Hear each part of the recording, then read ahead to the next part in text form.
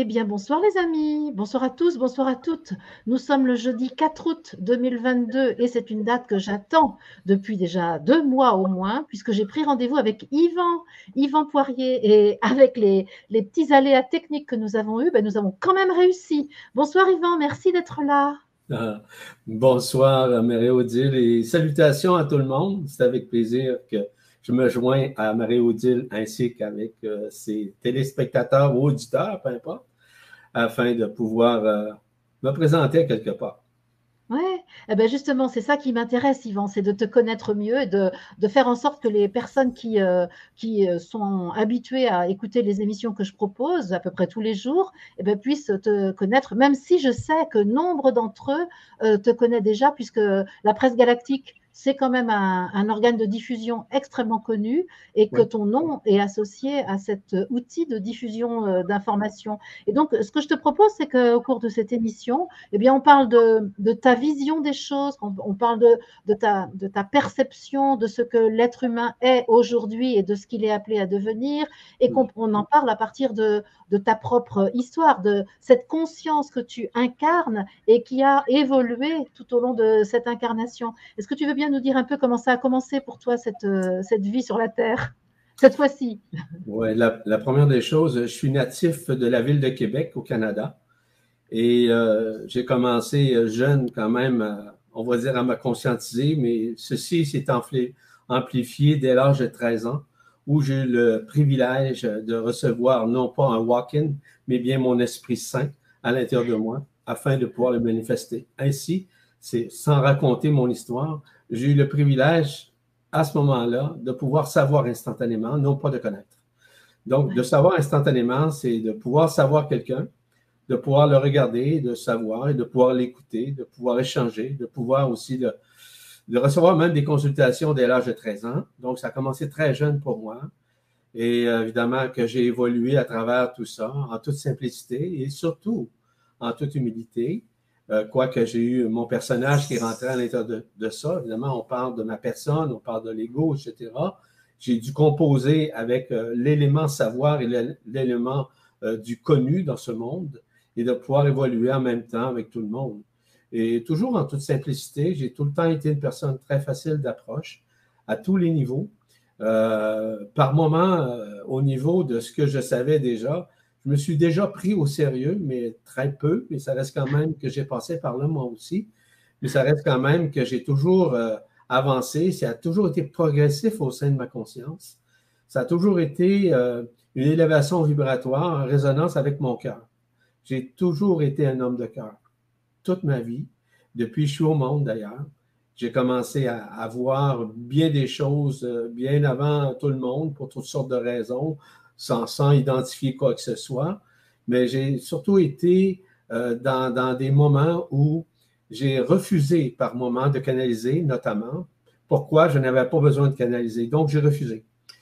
Euh, canaliser dans le sens euh, qu'une autre entité, une autre conscience me pénètre et qui, à ce moment-là, soumette ma conscience à cette conscience. Mais pas du tout dans mon cas. Ça a été littéralement refusé. Et pourquoi? Parce que je suis un esprit libre. Donc, du fait que je suis un esprit libre, on a tenté de m'avoir, même parfois de me duper. Ceci n'a pas fonctionné, évidemment. Et j'étais par euh, une période de temps quand même, euh, j'étais malade puisque j'ai réfuté, j'ai refusé cette canalisation-là pour rester moi-même, c'est-à-dire autant dans mon personnage, mais surtout en tant qu'esprit libre. Donc, euh, et j'ai tout le temps eu cette réflexion du cœur de dire, non, euh, je n'ai pas besoin d'être guidé. Ce n'était pas de la prétention. C'est simplement qu'en esprit libre, on est libre dans tous les sens du terme. Nous avons un savoir instantané. On n'a pas besoin de, guidance de qui que ce soit. On peut avoir des, rencontres avec des gens intelligents, puis tout ça. C'est pas dans ce sens-là. ceci n'a aucune prétention. C'est simplement d'être dans l'amour de ce qui je suis dans mon cœur à chaque instant de ma vie, avec quiconque d'ailleurs. J'ai commencé très, très jeune à ce moment-là. Et comme j'avais des capacités de, voyance, on va dire, de clair-vision aussi, à travers les choses, bien, c'est certain que c'était plus facile pour moi de pouvoir opérer en toute conscience devant les gens. J'ai déjà compris très jeune ce que représentait la conscience. J'ai déjà suivi des gens, euh, simplement histoire de, de, voir si j'étais sur la même longueur d'onde, effectivement. J'ai des gens que j'ai connus personnellement, des amis. Euh, je parle euh, au Québec, par exemple, Daniel Kemp, qui est un de mes amis, un, grand initié qui est décédé aujourd'hui. Daniel, il y a aussi Bernard de Montréal, que j'ai connu personnellement également. Donc, lorsqu'on parle du supramental, par exemple, moi, ça a commencé jeune. J'ai commencé dès l'âge de 13 ans à parler du supramental. Donc, j'étais un petit peu euh, avancer à ce sujet parce que je parlais des choses au-delà du mental. De mm. comprendre les choses au-delà du mental. Puis de comprendre les choses au-delà du mental, ça n'a rien à voir une réflexion dite spirituelle. C'est au-delà de la spiritualité. On pourrait dire c'est ce qu'on appelle de la paraspiritualité, en l'occurrence. Tu comprends? Donc, euh, et c'est ça, j'ai commencé ça jeune. Et ce que j'entendais de Daniel Kemp, ainsi que de Bernard de Montréal, et d'autres aussi que j'ai pu rencontrer au fil des années, et écouter aussi euh, dans des canalisations, euh, ça représentait et ça, ça, me disait exactement ce que moi je pensais. Donc, mon, pas, non pas dans le sens penser en passant, parce que penser pour moi, ça fait partie de l'illusion de la forme, ça fait partie de l'illusion de ce que les gens pensent qu'ils pensent, mais en réalité, ce n'est pas eux qui pensent, ce sont la réflexion de formes pensées qu'on appelle les égrégores auxquels les gens s'associent. Donc, euh, oui, j'ai commencé de bonne heure à saisir que ce n'était pas moi qui pensais, parce que j'aurais dépensé beaucoup d'énergie à penser. Or, euh, c'était ça. Et euh, c'est pour ça que j'ai compris très, très jeune, d'ailleurs, euh, tout ce qui s'est passé. Pendant une période où j'ai été très malade, où j'ai réfuté, évidemment, le fait de canaliser, j'ai plutôt invoqué le mot vibraliser, c'est-à-dire de vibrer avec mon cœur. Oui, c'est ça. J'ai noté ce mot que tu emploies, vibraliser. Tu peux le définir véritablement? Oui. La vibralisation, c'est la relation intime que j'ai avec mon esprit. C'est-à-dire de vibrer et de résonner en fonction de l'esprit. L'Esprit Saint qui est à l'intérieur de moi, qui est à l'intérieur de chaque être humain d'ailleurs, qui est bien au-delà de l'âme, parce que l'âme n'est qu'un précurseur d'entrée dans la matière. Mais ce qui est important de tout, à travers tous ces mécanismes-là, c'est de réaliser que l'esprit, lorsqu'il communique avec moi, il communique directement par mon cœur, le cœur vibral que j'appelle. Le cœur vibral n'a rien à voir avec le cœur physique, quoiqu'il y ait une relation intime pareille, parce que je parle avec mon cœur et je résonne avec mon cœur. Mais mon cœur vibral, c'est lui qui est l'épicentre vraiment, et c'est lui, en fait, qui communique avec moi. Donc, ce cœur vibral permet justement de vibraliser l'information instantanément. Donc, je n'ai pas besoin de livres, je n'ai pas besoin de références. Euh, je me suis connecté directement à la source centrale.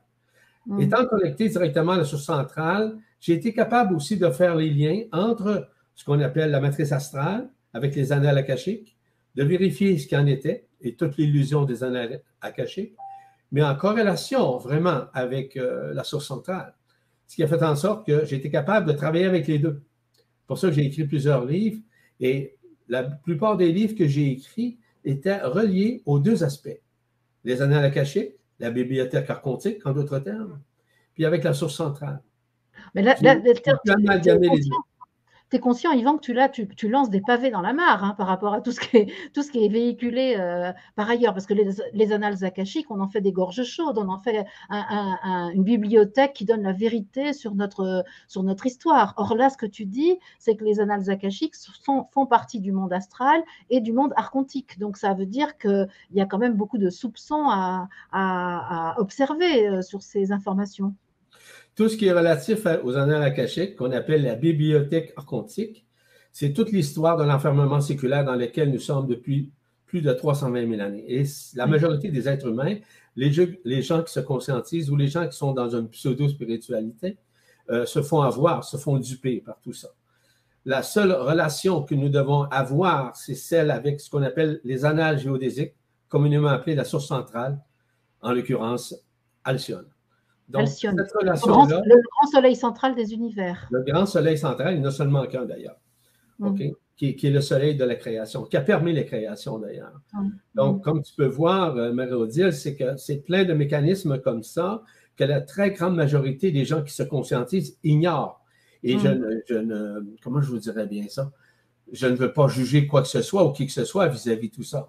Mais les gens ont été dupés, les gens sont faits avoir sont fait avoir par justement l'illusion de la forme, par l'illusion des annales akashiques, cette bibliothèque, qui a évidemment entretenu, dis-je bien, la conscience des êtres humains à rester dans l'illusion de la forme, à rester nécessairement dans des formes pensées, dans des égrégores, ainsi que dans une histoire abracadabrante où le transinversement au niveau de la conscience s'est fait, tout comme le transinversement au niveau de l'homme, de l'être humain, dans tous les sens du terme. Et lorsque je parle de transinversement, Marie-Odile, je parle de tout ce qui était euh, dans cet enfermement pendant 320 000 années et durant six cycles de plus de 50 000 années, il tire à sa fin en passant. Donc, euh, tout ce qui est important de réaliser en ces moments de grâce, en ces moments de révélation, en ces moments où le cœur parle avec, avec le cœur, avec le cœur des autres, afin que les gens, non pas qui. C'est pas prétentieux, hein, c'est pas euh, condescendant non plus. Ceci est important à réaliser puisque nous sommes présentement ici pour révéler la vérité absolue qui est issue vraiment de la source centrale ainsi que de l'absolu qu'on appelle également l'éternité. Donc, tout ça se fait présentement. Donc, je sais que ça choque souvent. C'est un chaos vis-à-vis l'ego, la personne, et aussi les croyances. Donc, nous sortons littéralement des croyances, nous sortons littéralement des concepts. Nous sommes dans une période de décréation, de déconstruction, afin que les gens puissent comprendre essentiellement ce qu'ils sont, bien au-delà de ce qu'ils sont en tant que personnage. Donc, mon rôle consiste justement à parler de tout ça. Il y a des années que je fais ça. Mais évidemment qu'avant qu'on reçoive une écoute, une, on pourrait dire une reconnaissance, pas parce que j'ai besoin qu'on reconnaisse ma personne, mais ce que je révèle, c'est de l'inédit, c'est de l'inécrit aussi, et qui permet justement d'entrer en communion plus facilement avec cette vibralisation, avec la source centrale. Et hmm. lorsqu'on est on rentre en communion, en communication, en vibralisation avec la source centrale, c'est là qu'on se met à savoir instantanément. Je n'ai pas besoin de livres, je n'ai pas besoin de ça. Je n'ai pas de bibliothèque chez moi. Oublie ça. Je n'ai pas besoin de ça. Au contraire même, si tu lis, tu vas diminuer ta capacité à connaître en fait, non? Oui. En fait, la convergence du savoir instantané s'est mise à l'intérieur de moi d'une façon euh, facile, c'est instantané. Je n'ai même pas besoin de réfléchir ou quoi que ce soit. Je le sais instantanément, peu importe les situations, peu importe les circonstances et peu importe les questionnements. Donc, est-ce que ça te demande ça, te demande une préparation, ça te demande une mise en condition? Ou c'est en permanence présent? Hmm. Je suis toujours en permanence en instantanéité. Hmm. Toujours. 24 heures sur 24. 365 jours et quart par année. Oui, c'est ça. Il n'y a pas besoin de. Et pour, pour le commun des mortels qui se conscientise avec euh, ce qu'il a appris, ce qu'il a compris, ce qui est valide aussi, ce qui est digne aussi de mention, euh, parfois ça choque. Hein? Parfois ça crée comme euh, une espèce de, de, recul. Mais on constate de plus en plus, et euh, j'ai fait ça depuis plusieurs années, comme je t'ai dit, j'ai donné des conférences depuis, je sais pas, je regarde seulement qu'au niveau de la presse galactique, j'ai plus de 3000 articles chroniques au niveau de la presse galactique qui, sont tout à fait gratuits. Au surplus, j'ai plus de 350 conférences, capsules que j'ai fait également, aussi au sein de la presse galactique, tout à fait gratuit dans Vibra TV. Donc, ça, c'est de la gratuité. Mais je fais des stages en privé, il va de soi. Je fais aussi des conférences en privé. Je fais aussi des séminaires en privé. Je fais du présentiel en séjour aussi. Donc, euh, grosso modo, là, je te brosse un tableau là, quand même aléatoire, si tu veux, de ce que je fais. Mais je t'avoue très sincèrement, Marie-Odile, c'est que je m'amuse énormément dans ma vie. Bah oui, bah oui, forcément. Parce qu'en fait, tu es vivant. Tu es vivant et tu es vrai dans l'instant présent. Absolument. Absolument. Et tu vois, c'est-tu une des très grandes forces pour pouvoir recevoir ce savoir instantané? C'est d'apprendre d'être dans le silence. Ah oui, c'est ça. Hmm. Le silence du cœur. Le silence du cœur, ça n'a rien à voir à dire que tu parles ou que tu n'écoutes pas ou que tu, tu, te branches. Non, tu te branches sur toi-même, sur ton esprit, parce que ce qui nous sommes éternellement est méconnu. Lorsque je parle de l'Esprit Saint, je parle vraiment de ce qui nous sommes, ce parabrahman de qui nous sommes c'est-à-dire celui qui vient de la source centrale. Non, au-delà de la source centrale, par-delà de la source centrale. Ceci vient de l'absolu, vient de l'éternité. Donc, nous sommes tous et toutes éternels, bien au-delà de nos personnages, bien au-delà de nos connaissances et bien au-delà de l'âme également. Hmm. Donc, mon travail consiste justement à vous dévoiler tout ça. Et pour moi, ben, je m'amuse. Euh, comme je l'ai mentionné, c'est sans aucune prétention. Ceci se fait naturellement. Et c'est ce que mm. j'amène aux gens afin que les gens puissent renouer, retrouver, rentrer davantage dans ce qu'ils sont, au-delà de ce qu'ils sont, dans leur mm. matière, dans leur connaissance. Mm. Donc, tout ce qui est matière à croyance, tout ce qui est matière à concept, comme je le signalais tout à l'heure, nous sommes littéralement dans une période de déconstruction. Alors justement, s'il n'y a, plus les, a plus les croyances, s'il n'y a plus ces savoirs accumulés, euh, est-ce que tu veux dire que c'est à partir de l'expérience que chacun fait de, de lui-même et de son existence que tout se, que tout se conscientise? Comment, comment tu vois les choses? En fait, en fait, tout se conscientise à partir du moment où nous sommes dans l'écoute du cœur, dans un premier temps, dans l'écoute de ton esprit, et euh, bien au-delà de l'âme, parce que l'âme, c'est une structure qui, permet justement de nous ancrer dans la matière et de pouvoir vivre l'expérience dans cette matière. C'est ça mhm. qu'elle sert. Mais tôt ou tard, cette âme va se tourner. Elle va disparaître. Elle va se tourner vraiment vers l'esprit afin qu'elle soit dissoute parce qu'on n'a plus besoin de l'âme à ce moment-là. Quoi qu'on vit dans une, dans une vie humaine, hein, dans la matière, dans l'ancrage, peu importe, ce qui est correct, c'est bien. Mais à un moment donné, l'âme disparaît. Hein. Vraiment, vraiment. Oui, l'âme, est-ce que tu dirais que l'âme, c'est ce que Sri Aurobindo appelle l'être psychique, qui en fait fait les allers-retours entre le plan divin et le plan de l'incarnation, et puis qui, accumule de la mémoire, mais qui finalement doit être appelé effectivement à revenir totalement dans l'esprit? Comment, comment tu vois ça, toi? Je vais t'expliquer, euh, grosso modo. Je connais très bien Sri Aurobindo. Ce qui est important, puis je ne l'ai pas lu. C'est pareil pour moi. C'est pareil pour moi, Yvan. non, pas du tout. Bon, euh, par rapport justement euh, euh ce qu'on parle relativement à l'âme. Initialement, lorsqu'on c'est nous-mêmes qui nous sommes créés. C'est pas un Dieu. Nous sommes divinement ce qui nous sommes, bien au-delà, en tant qu'esprit libre. L'esprit, c'est le créateur ainsi que le co-créateur de cette création. Ça, c'est fondamental, puisque l'esprit, il est ce que moi j'appelle dans mon langage l'amour indicible, l'amour vibral. L'amour vibral ou authentique, c'est un amour qui a permis de créer. C'est cet amour qui a créé la source afin que nous puissions nous manifester dans la matière et vivre l'expérience dans cette matière, dans la densité ainsi que dans les dimensions, au sein des univers, au sein des multivers, au sein des super-univers, bref, peu importe. Nous avons vécu déjà tout ça. On appelle ça la création de l'origine stellaire, la première incarnation. Et nous nous sommes déjà, c'est nous-mêmes qui l'avons créé, à partir, bien, ouais, à partir de la source centrale, mais bien avant la source centrale, parce qu'en esprit libre, en esprit saint, nous sommes la totalité de l'éternité. Nous sommes l'absoluité de ce qui nous mm. sommes, bien au-delà de la forme, bien au-delà de ce que nous avons compris jusqu'à maintenant au sein de ce monde enfermé. Donc, à l'instar de tout ce que nous avons vécu, nous sommes maintenant à renouer graduellement. Donc, l'âme, lorsque nous nous sommes créés, nous sommes créés dans une âme collective, avec nos origines stellaires, accompagnés de nos lignes interstellaires. C'est ce que nous avons fait. Maintenant, ceci, tu vas comprendre par la suite, euh, Marie-Odile, de, de quelle manière ceci s'est composé.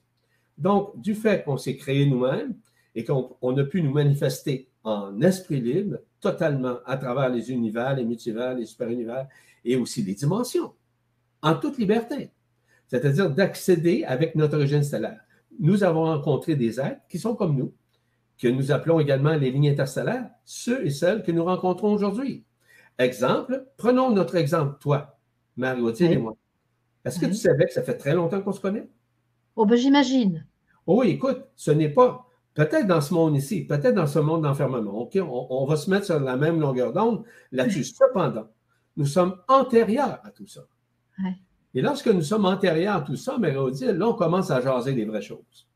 Là, on commence à dire que oui, ça a été intéressant avec l'origine stellaire, avec nos liens interstellaires, de pouvoir œuvrer, de pouvoir nous manifester, de pouvoir créer, co-créer au sein de ces mondes, au sein de ces dimensions, etc. Et c'est ce, que, c'est ce qui nous sommes, ça. Cependant, nous sommes antérieurs à tout ça. Oui. Antérieurs à notre vie humaine dans l'enfermement avec notre âme ordinaire. On n'oublie pas une chose.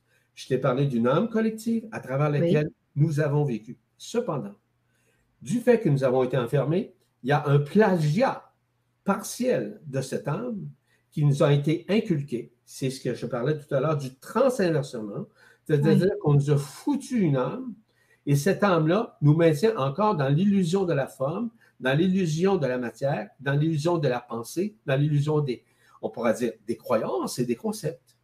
Hmm. Donc, cette âme, tôt ou tard, va se tourner vers l'esprit.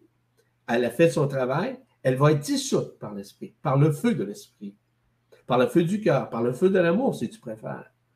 Et tout ça est en train de se manifester, ma très chère euh, Marodile. Et, c'est pour ça que maintenant, nous sommes ici pour vous indiquer le chemin. Le chemin, ce n'est pas de montrer que nous sommes meilleurs, au contraire. Nous sommes ici justement pour vous dévoiler ce qui a été caché pendant plus de 320 000 années, qu'on appelle les annales akashiques. Parce mm. que les annales akashiques ont enregistré notre, tout, tous nos vies. Prenons, je, prends un exemple très simple. Tu as sûrement entendu parler dans les entrevues que tu as faites. Entre toi et moi, on a parlé de l'Atlantide, on a parlé de la Limurie, on a parlé de différents. Hein, on est d'accord là-dessus? Tout à fait. écoute bien ça.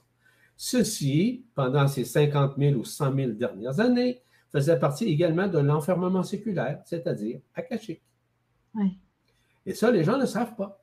Mais les mm. gens, beaucoup de gens qui, on va dire l'expression, qui se pètent des bretelles avec ça, hein, qui euh, se vautrent avec cela, malheureusement, mm. je ne juge pas. Je fais seulement te dire, c'est comme ça que ça se passe. Euh, j'ai fait, en tout cas, quelques voyages à travers le monde, évidemment, pour pouvoir euh, considérer, mais surtout conscientiser tout ça. fait partie de l'illusion, fait partie du monde éphémère, fait partie de la création. Et cette création est également une illusion. Mais ça, les gens ne croient pas ça. J'appelle ça la, légende, la légende humaine. En fait, c'est toute une légende à laquelle on est invité à croire, mais qui en fait euh, euh, cache une autre réalité. Cache, parce que c'est pour ça qu'aujourd'hui, en ces moments de grâce, nous sommes à vivre la désillusion de nos illusions, notamment de ce monde éphémère, notamment aussi de la disparition de ce monde et ce que nous sommes en train de disparaître. Pourquoi? C'est très simple. C'est qu'à l'intérieur de notre plan de vie, un scénario de vie, nous avons écrit un script. Qui a écrit le script? C'est votre esprit. C'est l'esprit de chacun. Hmm. Pour pouvoir vivre dans la matière malgré l'enfermement, donc pour pouvoir évoluer, pour pouvoir transcender, pour pouvoir guérir, pour pouvoir se transformer, pouvoir vivre une transmutation, euh, autant cellulaire qu'organique, que conscience. Mhm. Donc, tout ça est en train de se faire présentement. Mais les gens croient encore à, des livres, etc. Ceci faisait partie du scénario qui a été créé par les annales par ce qu'on appelle la bibliothèque archontique et par les archontes, évidemment. Hein. Parce que les archontes, il y a une chose qu'on ne peut pas leur enlever, ils sont très intelligents. Mais ils n'ont pas pu sustenter vraiment la réalité de la lumière authentique parce qu'il œuvrait continuellement dans le modèle de la dualité. Hmm. Le modèle de la dualité, c'est avec une loi qu'on appelle la loi d'action-réaction qui a pu permettre de créer d'autres lois qu'on appelle les lois universelles qui font partie également de l'illusion de la forme. Oui. parce que ce sont les lois, les lois terrestres, les lois de la ah, densité. non, pas seulement les lois terrestres, les lois universelles font partie de l'illusion. Aussi, il y a hmm. une loi c'est celle de l'amour. Authentique, indicible, c'est la seule loi qu'on appelle la loi d'action de grâce. Alors justement, est-ce que tu peux nous, évoquer, euh, même si c'est indicible, parce que tu l'as dit que c'était indicible, c'est quoi cette qualité d'amour qui n'a rien à voir avec le sentiment, qui n'a rien à voir avec l'affection, et qui est pourtant le même mot qui est employé, en tout cas dans la langue française, pour parler de, ce, principe, de cette, je ne sais pas comment tu dirais, intelligence, indicible. Alors c'est quoi l'amour indicible? L'amour indicible, c'est ce qui nous sommes déjà, euh, si tu veux, en avant-plan. Hmm. C'est ce qui nous sommes déjà avant même la création. C'est ça, l'amour. L'amour n'a rien à voir à un sentiment comme tu le mentionnais, OK? Ça n'a rien à voir à des bisous. Hein? ça n'a rien à voir à je t'aime pour je t'aime. OK? Ça, c'est ce qu'on appelle l'amour sentimentique et aussi l'amour sentimental, c'est-à-dire d'aimer avec le mental, avec des concepts, aimer selon euh, qu'on est sur la même longueur d'onde sur le plan physique, sur le plan amique. C'est un peu comme l'histoire des, des âmes sœurs, les âmes jumelles, tout comme les, les, flammes jumelles, etc. Mais ce sont des mécanismes qui font partie, encore une fois, de l'illusion de la forme, fait partie de la conscience collective. Or, lorsqu'on parle de l'amour, il n'y a aucune conscience. L'amour indicible est totalement neutre. Lorsqu'on aime quelqu'un, on l'aime inconditionnellement, qu'il soit beau, qu'il soit gentil, euh, mm. qu'il soit fin, qu'il soit le plus cruel, tu aimes et tu aimes. Tu ne juges pas, tu ne condamnes pas, tu es ce qui tu es dans l'amour, puisque toi aussi, tu as déjà passé par là dans l'enfermement et tu sais très bien que toute situation, quelle qu'elle soit que tu as vécue, t'as maintenu dans l'illusion de la forme. Quand tu sais ça, tu dis, je ne peux juger quiconque. Ah, quand je juge quiconque ou quoi que ce soit, je me juge également, puisque moi aussi, je suis passé par là dans cette période d'enfermement de plus de 320 000 années. Donc, qui sommes-nous pour juger? Hein? Mm, Donc, mm. lorsqu'on comprend que le jugement fait partie justement du non-amour, c'est-à-dire de l'amour, euh, on va dire, euh, ordinaire, de l'amour simpliste, de, l'amour euh, à partir simplement de la, de la passion l'un vers l'autre. C'est correct, il n'y a rien de mal là-dedans, mais ce n'est pas mm. l'amour véritable. L'amour véritable ne se mesure pas. L'amour véritable ne peut d'aucune façon vivre euh, dans, à l'extérieur ou dans un mouvement, par exemple, antérieur ou dans un mouvement postérieur ou encore dans un mouvement utopique ou encore un devenir quelconque. Il est dans l'ici maintenant, dans ce qu'on appelle le, l'ici maintenant, le moment présent en d'autres termes, mais surtout dans le silence. Puisque nous sommes issus de cet amour indicible, nous sommes de plus en plus. Et c'est pour ça que je te mentionnais un peu plus tôt qu'à l'intérieur de nous, nous avons cette vérité qui est en train de, de sortir des méandres de ce qui nous sommes en tant qu'amour, puisque nous sommes uniquement amour. Nous sommes bien au-delà de tout ce que nous avons compris, de tout ce que nous avons expérimenté. Cependant, ce que tu mentionnais tout à l'heure, c'est à partir de notre propre expérience que maintenant, on peut commencer à croire en nous-mêmes et surtout de croire en ce qui nous sommes. Et c'est comme ça que l'expérience, parce que moi, j'appelle ça aussi des périences. Une périence, c'est quelque chose qui est issu au bien au-delà de ton expérience humaine, qui dépasse largement tout ce que nous avons expérimenté sur le plan de la matière ou sur le plan dimensionnel. Hmm. On nous dit que nous sommes des êtres multidimensionnels. Ben, oui, dans un sens, nous sommes multidimensionnels avec l'origine stellaire, c'est vrai. Mais nous ne sommes pas multidimensionnels en éternité. En éternité, on ne peut pas être multidimensionnel. Nous sommes antérieurs à cette multidimensionnalité. c'est ça. Hmm, c'est ça. Il y a quelque chose. Oui. Hmm quelque chose de, totalement éternel qui n'est absolument pas mesurable, qui n'a pas de, début, pas de fin, pas de dimension en fait. Exactement. Donc, mm. en éternité, premièrement, il n'y a, en éternité ou en absolu, il n'y a pas d'espace, il n'y a pas de mm. temps. C'est ça. Il n'y a pas de forme. Il n'y a aucune dimension. Il n'y a aucune existence possible. Or, lorsque nous sommes en esprit libre au sein de l'absolu, c'est une relation intime que nous avons avec les autres esprits. Toutes ces étincelles qui sont bien au-delà même de la lumière, puisque la lumière au sein de l'absolu n'existe pas. Voilà. Justement, je voulais, te questionner sur la lumière, parce que je t'ai entendu dans une conférence dire que la lumière telle qu'on la connaît, euh, avec les photons, c'est pas du tout la lumière authentique dont il est question lorsque tu parles de, de, ce, grand principe de l'être, en fait. La lumière photonique, euh, comme telle, est connue. Tu sais, lorsqu'on parle de la vitesse de la lumière, en l'occurrence, on parle minimum de 300 000 km secondes. Hein? Mmh, mmh. Hein, la vitesse de la lumière. On est d'accord là-dessus? Cette lumière photonomique, euh, photonique, pardon, photonomique, une façon de parler des dire. Cette lumière photonique, c'est des photons. Mais les photons ne sont même pas une réalité, puisque les photons n'existent pas du tout en éternité. Ils existent seulement qu'au niveau de la source centrale. C'est ce qu'on appelle la lumière blanche. Mais la lumière, cette lumière a été fragmentée. On a utilisé cette lumière, archontiquement parlant, je parle, pendant ces 320 000 années durant cet enfermement séculaire, où on s'est fait duper, on s'est fait avoir dans tous les sens du terme. Et ils ont parti, ils ont extirpé une partie de cette lumière et se sont servis justement de maintenir cette lumière entre l'ombre et la lumière, mais non authentique. Donc, ce qu'on appelle les forces. Et les forces qui se sont servies de ça, on les appelle, on les appelle pardon, les forces lucifériennes, mmh. sustentées par les forces prométhéennes qui étaient les guerriers de guérison, pas de guérison, mais plutôt de manifestation, de guerre, etc. Et ça s'est suivi évidemment avec d'autres. On, peut parler par exemple de tout ce qui est les, forces belzébustiennes, les forces arimaniennes, les forces sataniques, les forces diaboliques, et j'en passe. Tout ce qui nous a enfermés. Donc, tout ce qui est issu de, la matrice astrale, tout ce qui est issu des cachées, fait partie de l'illusion de la forme avec ses dieux. C'est Dieu, par exemple, le Dieu archontique qui s'appelle Yedelbut. C'est lui le Dieu archontique. Donc, il est le Dieu de toutes les religions, il est le Dieu de toutes les croyances, il est le Dieu de tous les concepts, il est le Dieu nécessairement de toutes ces entités-là, lucifériennes, prométhéennes, tout ce que je t'ai nommé tout à l'heure.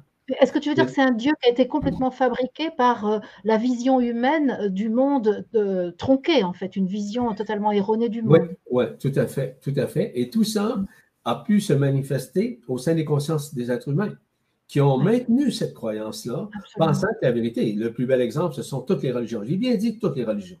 Oui, oui, oui, toutes les religions sont archontisées, toutes, par des concepts, par des rituels, et j'en passe.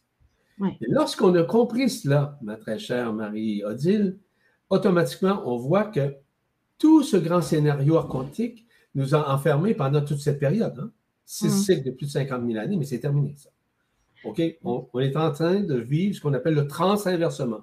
Le mm. transinversement, pour te faire une image très simple, c'est que tout ce que nous avions comme chakra, corps subtil, système nerveux central, système endocrinien, tout ce qui est relatif, par exemple, euh, euh, au nadi, euh, au point d'acupuncture, bref, tous ces mécanismes ont été transinversés. Et on nous a foutu une âme pour maintenir cela dans l'illusion de la femme. Hmm. Et ce n'est pas des blagues. Et c'est une réalité. Et le, travail avec d'autres personnes aussi, nous sommes ici justement pour vous dire qu'est-ce qu'il y en est. Ce n'est pas de juger cela. Parce que la problématique chez l'être humain, qu'il il ignore, c'est qu'il est totalement ignorant et surtout innocent de ces hmm. mécanismes-là. Oui, c'est ça, c'est pas intentionnel. C'est pas, il a pas jamais. Il est, il est manipulé par, par cette, cette, légende, en fait. Exactement. Puis c'est exactement ça, une légende. La légende de l'illusion, l'illusion la, légende de la forme. Nous sommes uniquement des hmm. hologrammes hein, physiques. Et, et j'en parle, ça fait des années et des années que j'en parle de tous ces mécanismes-là, afin d'aider les gens à révéler en eux et à réveiller en eux ce qui sont, qui sont bien au-delà de la forme. Révéler le créateur que nous sommes à l'intérieur. Oui, nous sommes des créateurs évidents, sauf que c'est difficile à reconnaître. Et j'ai eu ce privilège de pouvoir le vivre dès jeune âge, suite à une très grande initiation avec des êtres, et des êtres qui sont initialement issu de l'absolu, de l'éternité, parce que je le suis comme toi tu l'es, et comme toutes les personnes qui sont présentes au sein de, cette conférence ou cette entrevue, peu importe. Nous sommes déjà bien au-delà de la forme, bien mm. au-delà de l'existence humaine, de l'expérience mm. humaine. Nous sommes bien au-delà de ça. Nous sommes antérieurs à la source centrale, imagine.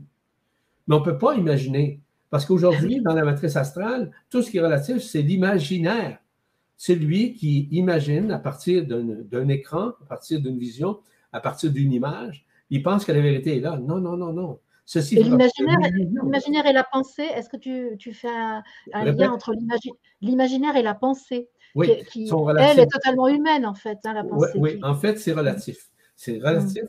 Je le mentionnais un peu plus tôt que la pensée fait partie de l'illusion de la forme.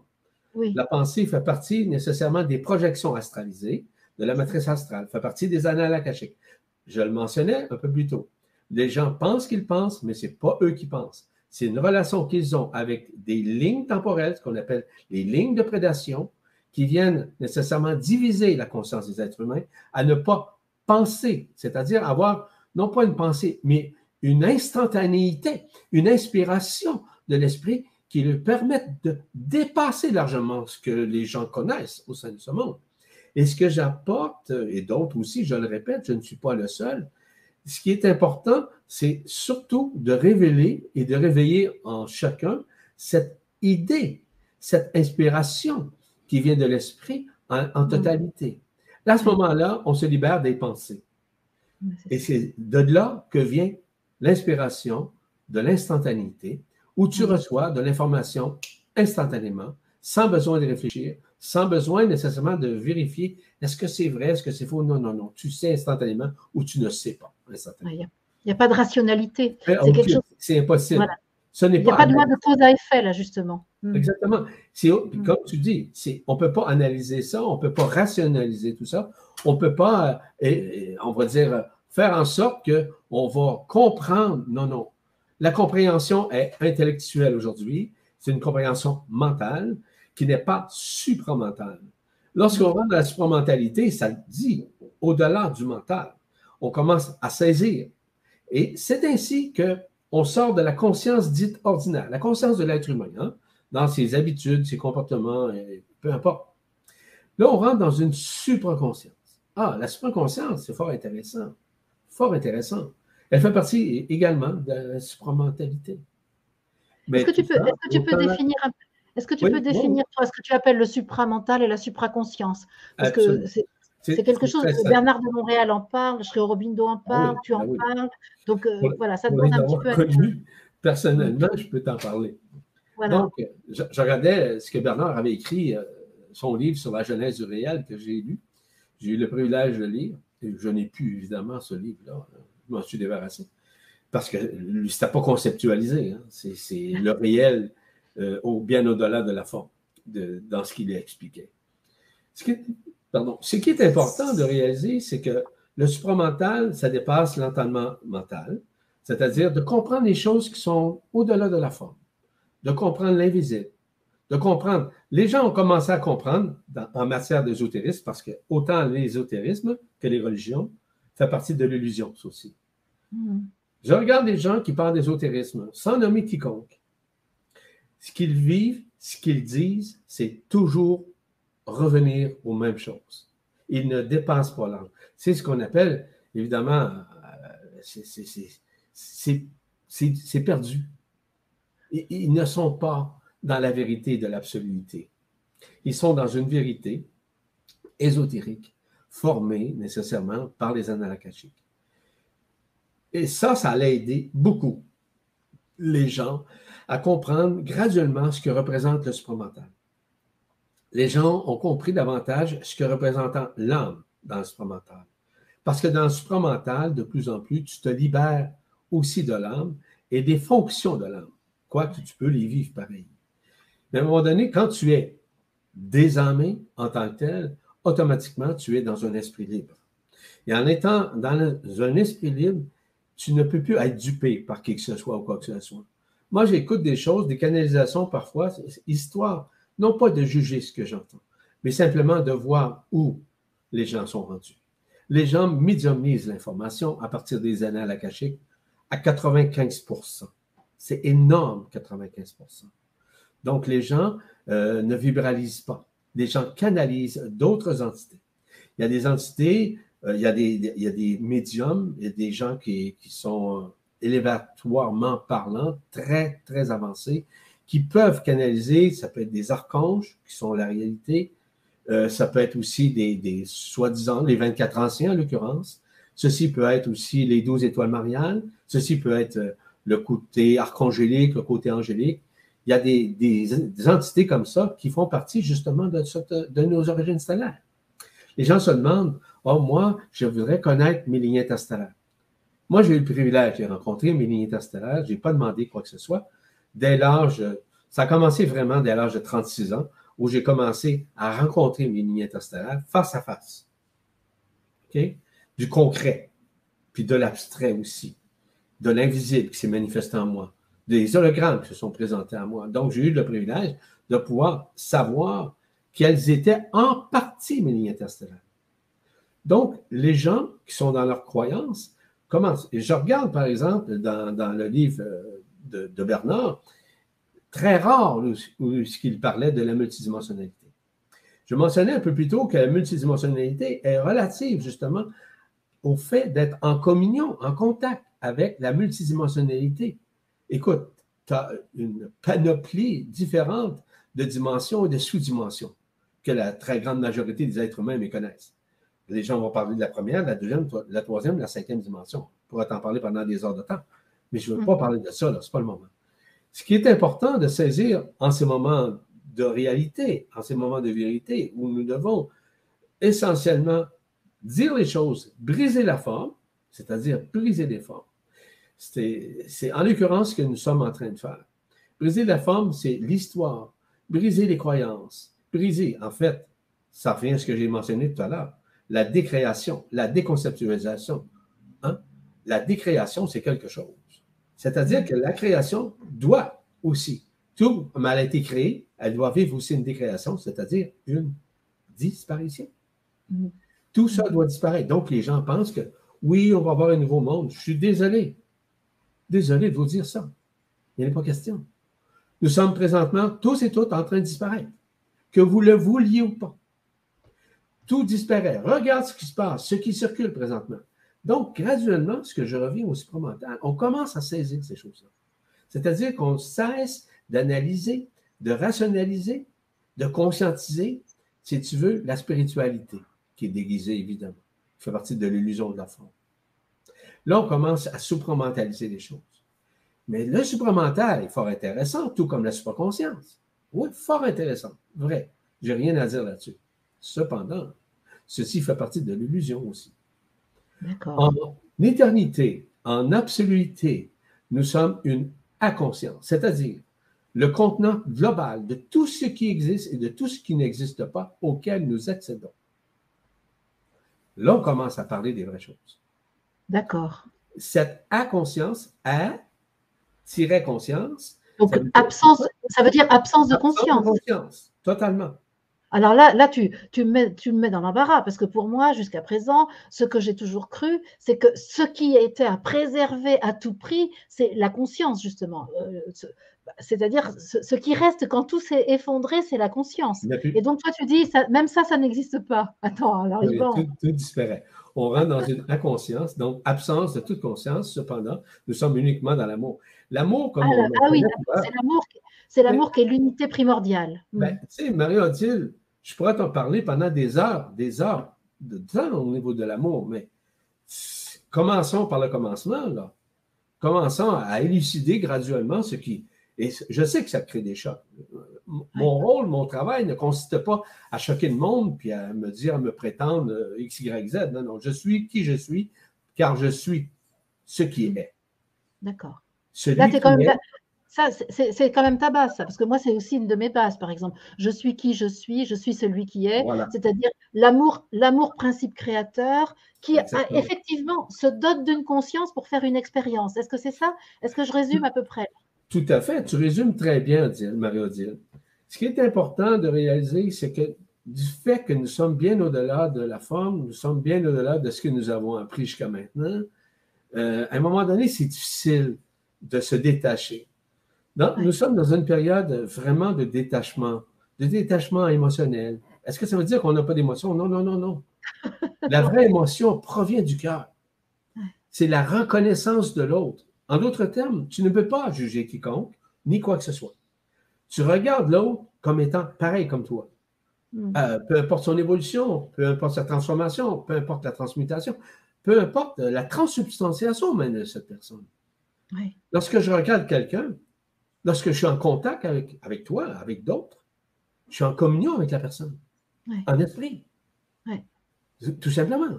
Je l'aime comme elle est. Qu'elle ait les défauts, qu'elle soit cruelle, qu'elle soit bienveillante, malveillante, j'en ai rien à cirer. Je regarde l'autre en esprit. Tu comprendras que je ne parle pas des portails organiques. Tu comprendras. Oui, c'est ça. Tout ça, hein, parce que ça fait partie encore de l'illusion de la forme. Mais je parle littéralement de plus ici sur, dans notre monde, dans, sur cette planète, où on est à peu près 8 milliards 500 millions d'individus, la moitié, ce sont des portails organiques. Les gens l'ignorent. Alors, tu peux, tu peux définir, parce que moi, ce n'est pas un vocabulaire que je connais bien, les portails organiques, archontes, tout ça, c'est des mots que je bah, que, que j'entends, que je comprends à peu près, mais que les personnes qui, qui sont habituées à écouter ces, émissions ne sont peut-être pas habituées à connaître. Oui. Non, mais c'est certain, parce que là, je suis en train de vous ouvrir des portails. Eh bien oui, justement. oh, oui. Parce que lorsqu'on parle de, portails organiques, ce sont des portails physiques qui sont des serviteurs au niveau archontique et des annales cachées. D'accord. Leur vision, c'est une vision, c'est comme des caméras, à plein régime. Ce sont des êtres humains qui communiquent l'information des émotions directement au sein de la matrice astrale. Bon, la matrice astrale, c'est ce que nous voyons ici. Notre monde fait partie de l'illusion de la forme fait partie de tout ce qu'on voit ici dans ce monde d'illusion, où la forme a préséance sur tout. C'est ça. Hein? L'affaire, c'est que lorsqu'on parle des portails organiques, ils œuvrent au sein, évidemment, de la matrice astrale. Ils sont les porte-paroles de la matrice astrale, puisqu'ils sont les visionnaires. Je te l'ai dit, Leurs yeux sont des caméras. Les archontes, les forces matricielles de la matrice astrale, les forces lucifériennes, les forces prométhéennes et tout le reste que je t'ai mentionné un peu plus tôt, se servent de, toutes les énergies émotionnelles auxquelles les gens ont accès. C'est-à-dire qu'ils se sont appropriés la deuxième dimension. Ils se sont appropriés également la quatrième dimension. Du fait qu'ils se sont appropriés ces dimensions-là, c'est de ça qu'ils se servent des émotions. Tu sais, les gens, tu connais ça, les gens qui revendiquent, les gens qui contestent et tout ça, tu sais ce que c'est, là? Oui, la euh, plainte et la revendication, oui, effectivement. Ce qu'ils ne savent pas, ils nourrissent la maîtresse astrale. Absolument. Puis la majorité des êtres humains qui croient, malheureusement, se servent d'eux, comme, euh, non pas comme euh, bouclier, pour attirer l'énergie, l'émotion, qui sert d'énergie aux archons pour pouvoir se nourrir. Mm. Mm-hmm. Et c'est comme ça que ça fonctionne. Ça paraît peut-être ordinaire, peut-être banal, mais ce n'est pas banal du tout. Ceci fait partie. Ces portails-là, ce sont des êtres humains comme toi et moi, qui peuvent avoir des enfants, qui peuvent se marier, qui peuvent travailler auprès de toi. Tu peux être certaine tu as minimum entre 45 et 50% de ces êtres-là qui sont sur la planète. Et ça, c'est une vérité. OK. Mais ça veut dire que eux, eux, quel lien ont-ils avec l'esprit avec, euh, Aucun lien. Premièrement, ils n'ont pas. Ils n'ont pas d'âme. Ils n'ont mm. pas de cœur, ils n'ont pas d'esprit. Mais ils ont des organes comme nous, ils peuvent reproduire comme nous la même chose. Mm. Mais leur vision, ce sont uniquement des caméras qui sont fixées justement sur la race humaine. Un peu comme des robots, alors. Ce que, tu dis, c'est ça. Ce sont littéralement des robots. Donc, en fait, le transhumanisme, le, transhumanisme, c'est un peu une espèce de, de, de paroxysme. D'ailleurs, je, vais faire, je vais faire une conférence sur le transhumanisme avec Arnaud Miller, Malaire, euh, je crois, au mois d'août, euh, le milieu d'août, quelque chose, je ne me souviens pas de, la date comme telle. Arnaud est sûrement aujourd'hui à l'écoute, si tu veux, regarde. Arnaud, je l'ai écouté tout à l'heure, il était avec Arwen de Laréo hier, j'ai écouté un bout de l'émission tout à l'heure, là, effectivement. Et euh, Arnaud, je connais très bien aussi. Ah oui, j'ai entendu des émissions avec lui, il t'interviewe magnifiquement ben bien. Oui, oui c'est ça. Donc, euh, oui, il est très, très, il est très, très bon. C'est vraiment une très belle personne dans tous les sens. Alliance Pacifique, hein, je crois. Sa chaîne s'appelle l'Alliance Pacifique, je crois. Exactement. exactement. Mm. Donc, euh, mm. ça, fait un sacré bout de temps qu'on est ensemble et que, que je puisse contribuer, si tu veux, à l'élaboration de son site. Et ça va très bien jusqu'à maintenant. Euh, donc, ceci étant dit, bien, les, relations que nous avons euh, ensemble, c'est par exemple une conférence que je vais faire sur le transhumanisme au cours euh, du mois d'août, quelque part, je ne me souviens pas de la date. Mais ça va être fort intéressant parce que je vais expliquer justement ces mécanismes qui sous-tendent le fait euh, d'être dans une période de transhumanisme, c'est-à-dire qu'on est en train de transcender l'humain euh, au détriment, si tu veux, de la technologie, au détriment nécessairement de, tout ce qui est relatif à la progression, tout ce qui est relatif à l'évolution, transformation. Donc, euh, je vais expliquer tous ces mécanismes-là avec Arnaud à ce moment-là. Je vais parler également dans une autre conférence avec Arnaud et une autre personne des portails organiques, mais très détaillés. D'accord, ok. Donc ceux qui voudront euh, avoir plus d'informations sur le sujet pourront écouter à ce moment-là. Oui, oui, oui, oui, il y a beaucoup, beaucoup de matière à expliquer là-dedans. Et, c'est quoi ta vision, toi, de l'évolution? Parce que dans, tout ça, j'imagine que quand même tout ce chantier-là dont tu parles, qui est, complètement illusoire et tout ça, il y a bien un sens. Euh, quel est le sens que toi tu vois à tout ça? Moi, l'évolution, c'est un paradoxe. L'être humain, dans sa vision des choses, au cours de cet enfermement séculaire, il était, dans un, progressivement en évolution.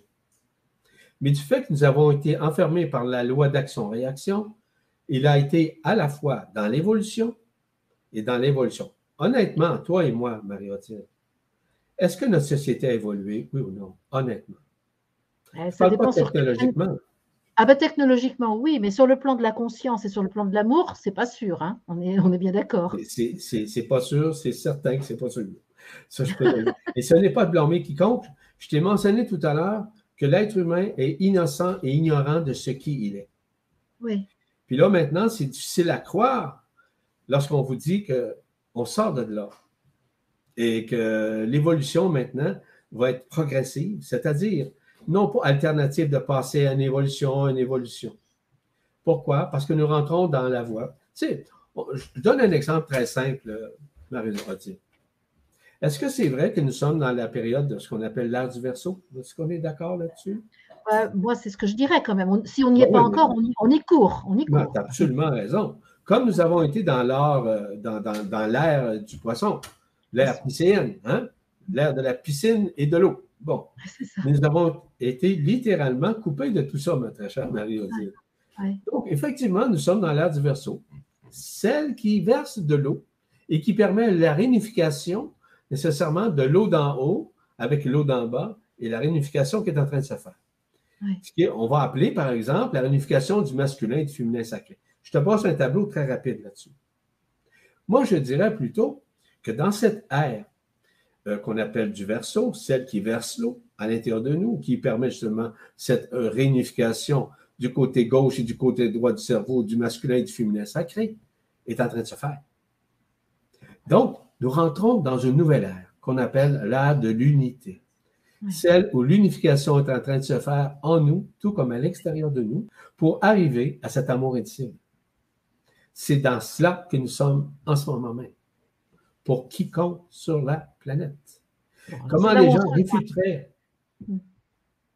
C'est là où on se rejoint, parce que c'est tout à fait, moi, dans ma, perception des choses, c'est ça, c'est euh, ce processus d'unification vers lequel nous allons et qui nous pousse, en fait, qui nous, qui nous manage en quelque sorte. Exactement. Donc, dans cette ère de l'unité, Marodile, c'est que nous rentrons vraiment dans une singularité espritique. En d'autres termes, nous sommes littéralement neutres, c'est-à-dire non pas polarisés, c'est-à-dire aucunement polarisés par le côté positif le côté négatif, il n'y a pas d'alternativité à l'intérieur du processus. Hmm. Donc, nous rentrons littéralement dans ce monde de désillusion pour pouvoir que tout ce que nous avons vécu au sein de ce monde enfermé pendant 320 000 années, nous sommes en train de nous en sortir. Pour rentrer dans l'unité. En esprit libre, nous sommes dans l'unité, nous ne sommes pas dans aucune polarité. Et tout ça est en train de se faire. Ce n'est pas une nouvelle création, au contraire, c'est la libération de cette création hmm. pour pouvoir arriver à cette unité de qui nous sommes en tant qu'esprit. Hmm. Et l'Esprit Saint, non pas le Saint-Esprit, il faut euh, faire les nuances. Le Saint-Esprit qui a été évidemment transinversé par les religions, notamment la religion catholique romaine. Les gens sont fait avoir, se sont fait duper dans tous les sens du terme.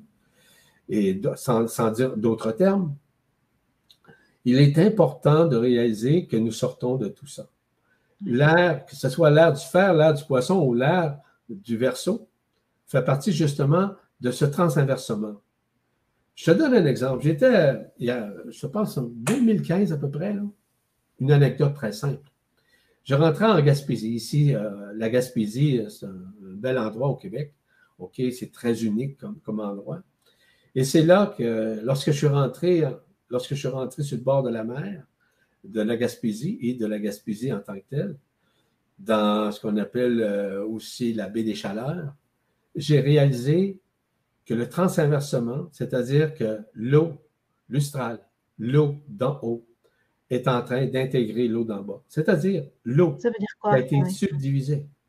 Et ça, je l'ai vécu, là. J'étais dans le toit avec mon épouse et mes enfants, et je pleurais lorsque je conduisais. Tu n'as pas d'idée je voyais toute cette émergence de la lumière authentique, de cette eau lustrale qui pénétrait l'océan. Je le voyais comme je te vois là.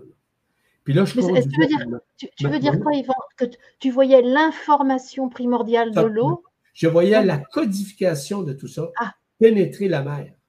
Parce que ce sont tous des codes de lumière. Parce que la lumière est codifiée. Elle a des codes, elle a des codex.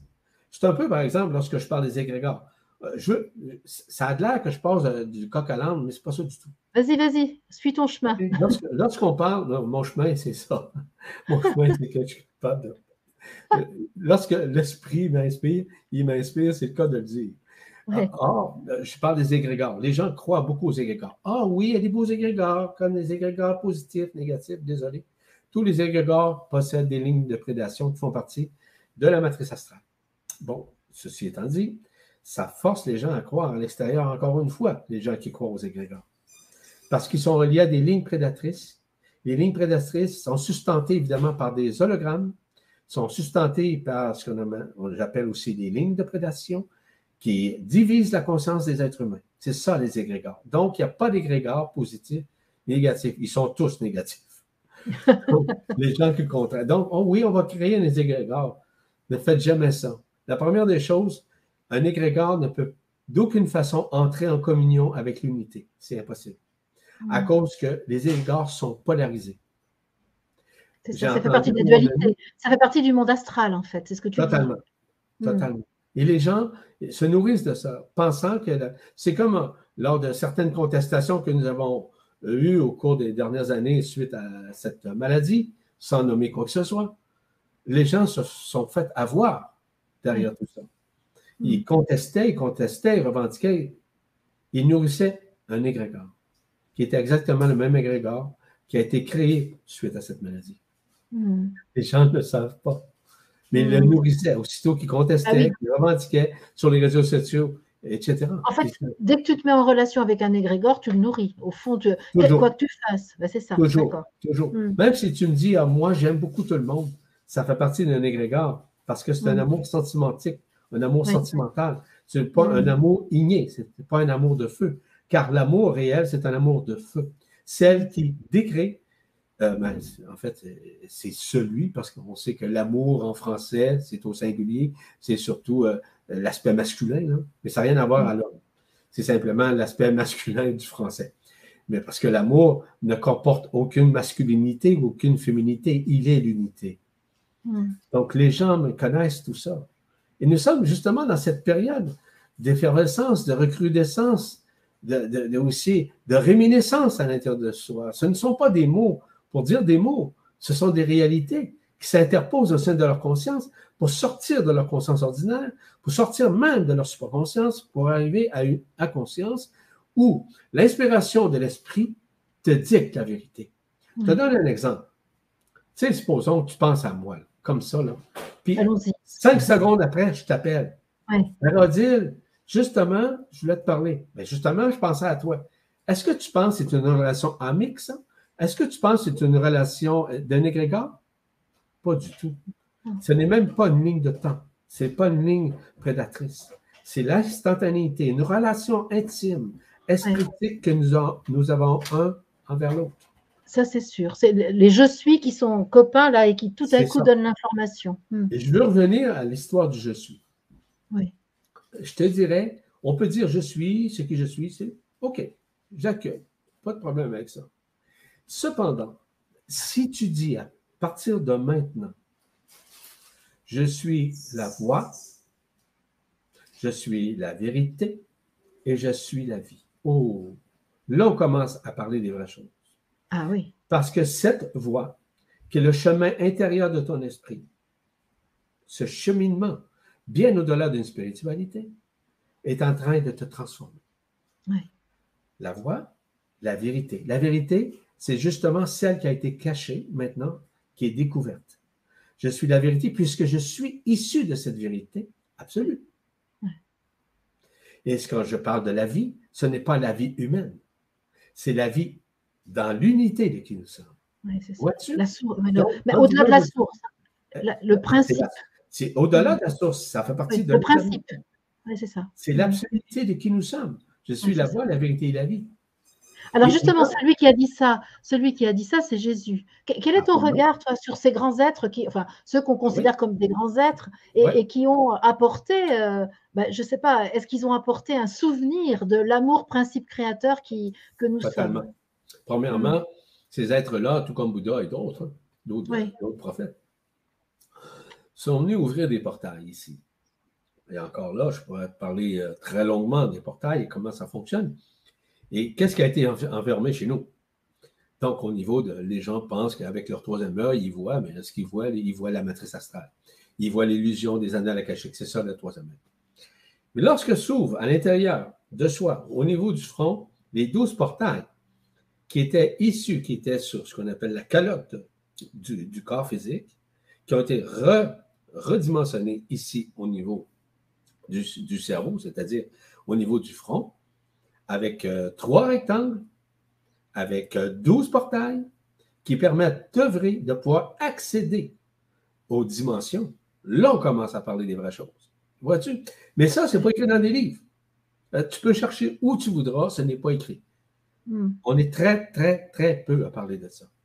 Pourquoi? Hmm. Parce que ça fait partie justement de dire aux gens, qu'en apprenant ça, que vous allez vivre la désillusion de vos illusions, parce que les gens pensent que c'est troisième. Troisième œil est situé ici, qui est ce qu'on appelle la conscience de la matrice astrale ainsi que des annales akashiques. Les gens, les médiums qui lisent, la majorité lisent une partie de l'âme des êtres humains et beaucoup de médiums hein, se servent des cartes X, Y, Z pour faire la lecture, la cartomancie, ça fait partie encore de l'illusion. Tout ça fait partie de l'illusion. Tout ça fait partie. Et nous sortons de cette illusion présentement. C'est difficile à croire. Parce qu'on pense que la vérité est dans l'illusion. Parce qu'on méconnaît ce que représente la réalité de cette dimension, de ce monde. C'est comme les gens qui disent Ah, moi, je vais ascensionner avec euh, mon corps physique en cinquième dimension. C'est impossible. Impossible. Impossible. On sort de toute l'illusion de la forme. Et c'est difficile. Je sais pour le commun des mortels, celui qui se conscientise présentement, c'est difficile. Moi, je dis souvent, à chacune des conférences, les séjours ou les stages, s'il vous plaît, je ne veux pas que vous me croyez, je ne veux pas vous convaincre. Je vous dis qu'est-ce qu'il en est, de ce qui a été caché pendant des centaines de milliers d'années. Vous le prenez, vous ne le prenez pas, j'en ai rien à cirer. Vous acceptez, vous acceptez pas, j'en ai rien à cirer. Vous accueillez, vous accueillez pas, j'en ai rien à cirer. À mm. rien. La seule chose que je vous dis, il est temps qu'on vous dise la vérité. Certains, certaines, en tout cas, le nombre de personnes sans prétention qui me suivent, je peux dire une chose, que ça se réveille, puis pas à peu près. Là. qui suit Yvan Poirier, Yvan Poirier, même pas le personnage avec ce qui je suis. Je suis libre. Je suis vraiment libre. Et lorsque je parle, je ne parle pas avec ma tête.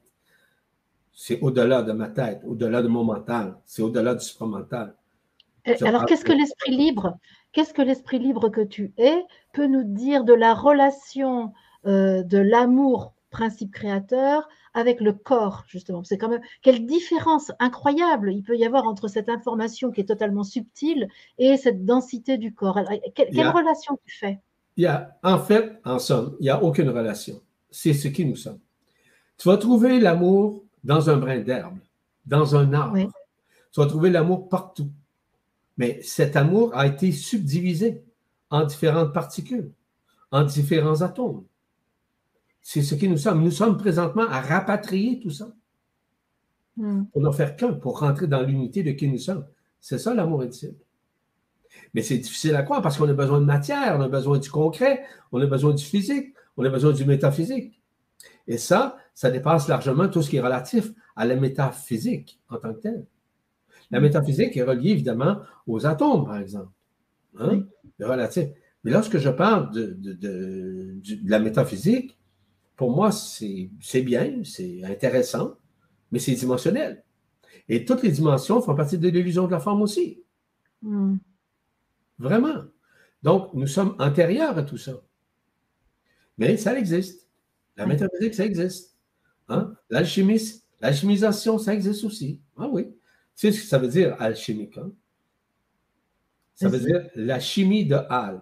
La chimie de dire la chimie d'Alcyone, de la source centrale. Ah, d'Alcyone, d'accord. C'est ça que ça veut dire, mm. tout simplement. Mm. Donc, mm. cette alchimisation que nous sommes en train de vivre permet justement cette réunification. Oui, c'est ça. Dans un premier temps, il y a cette alchimisation, cette reconnaissance de qui nous sommes qui permet de rapatrier toutes ces formes qui sont relatives à des atomes, hein, que ce soit des bosons, que ce n'importe quoi. Je ne les nomme pas toutes, tu comprends? Et nous avons accès à tout ça. Hmm. Donc, tout ce qui existe dans l'air, tout ce qui existe dans l'invisible, fait partie de cette disparition, de cette division, et que nous sommes maintenant à réunifier tout ça pour ne faire qu'un dans l'absolu. Hmm. Hmm. Tu comprends l'unité? Oui, tout à fait. révéler l'unité. Parce que le mot amour devrait, devrait s'appeler unité. C'est pour ça, tout à l'heure, je t'ai mentionné que nous rentrons vraiment dans l'ère de l'unité. Hmm, c'est ça. Ça, me va très bien. Hmm. je te donne un exemple très simple, euh, Maria Dill. Est-ce que selon toi, le temps passe plus vite? Oui ou non? Pour moi, oui, c'est clair. Moi, je pense que. Pose la question à tout le monde. Ça passe bien vite, là. C'est ainsi, j'ai rien, j'ai pas le temps de rien faire, c'est vrai. C'est clair. Ça veut dire quoi? Ça veut dire, dans un premier temps, c'est qu'il y a plus de lumière authentique qui pénètre l'être humain dans ses cellules, hmm. qui transcende ces cellules, c'est-à-dire la transsubstantiation, qui change la substance de ces cellules. C'est ça. C'est ça que ça. veut dire. Hmm. Et tu sais que samedi, on fête la transfiguration de Jésus. Donc, je te donne cet exemple parce que ça, a à voir avec la transsubstantiation, justement. Est-ce que, tu, est que tu crois qu'on a cette capacité, justement, à transfigurer cette matière ou est-ce qu'on est condamné, tant qu'on est dans le monde de la dualité, euh, à, vivre cette matière dans sa lourdeur et sa densité?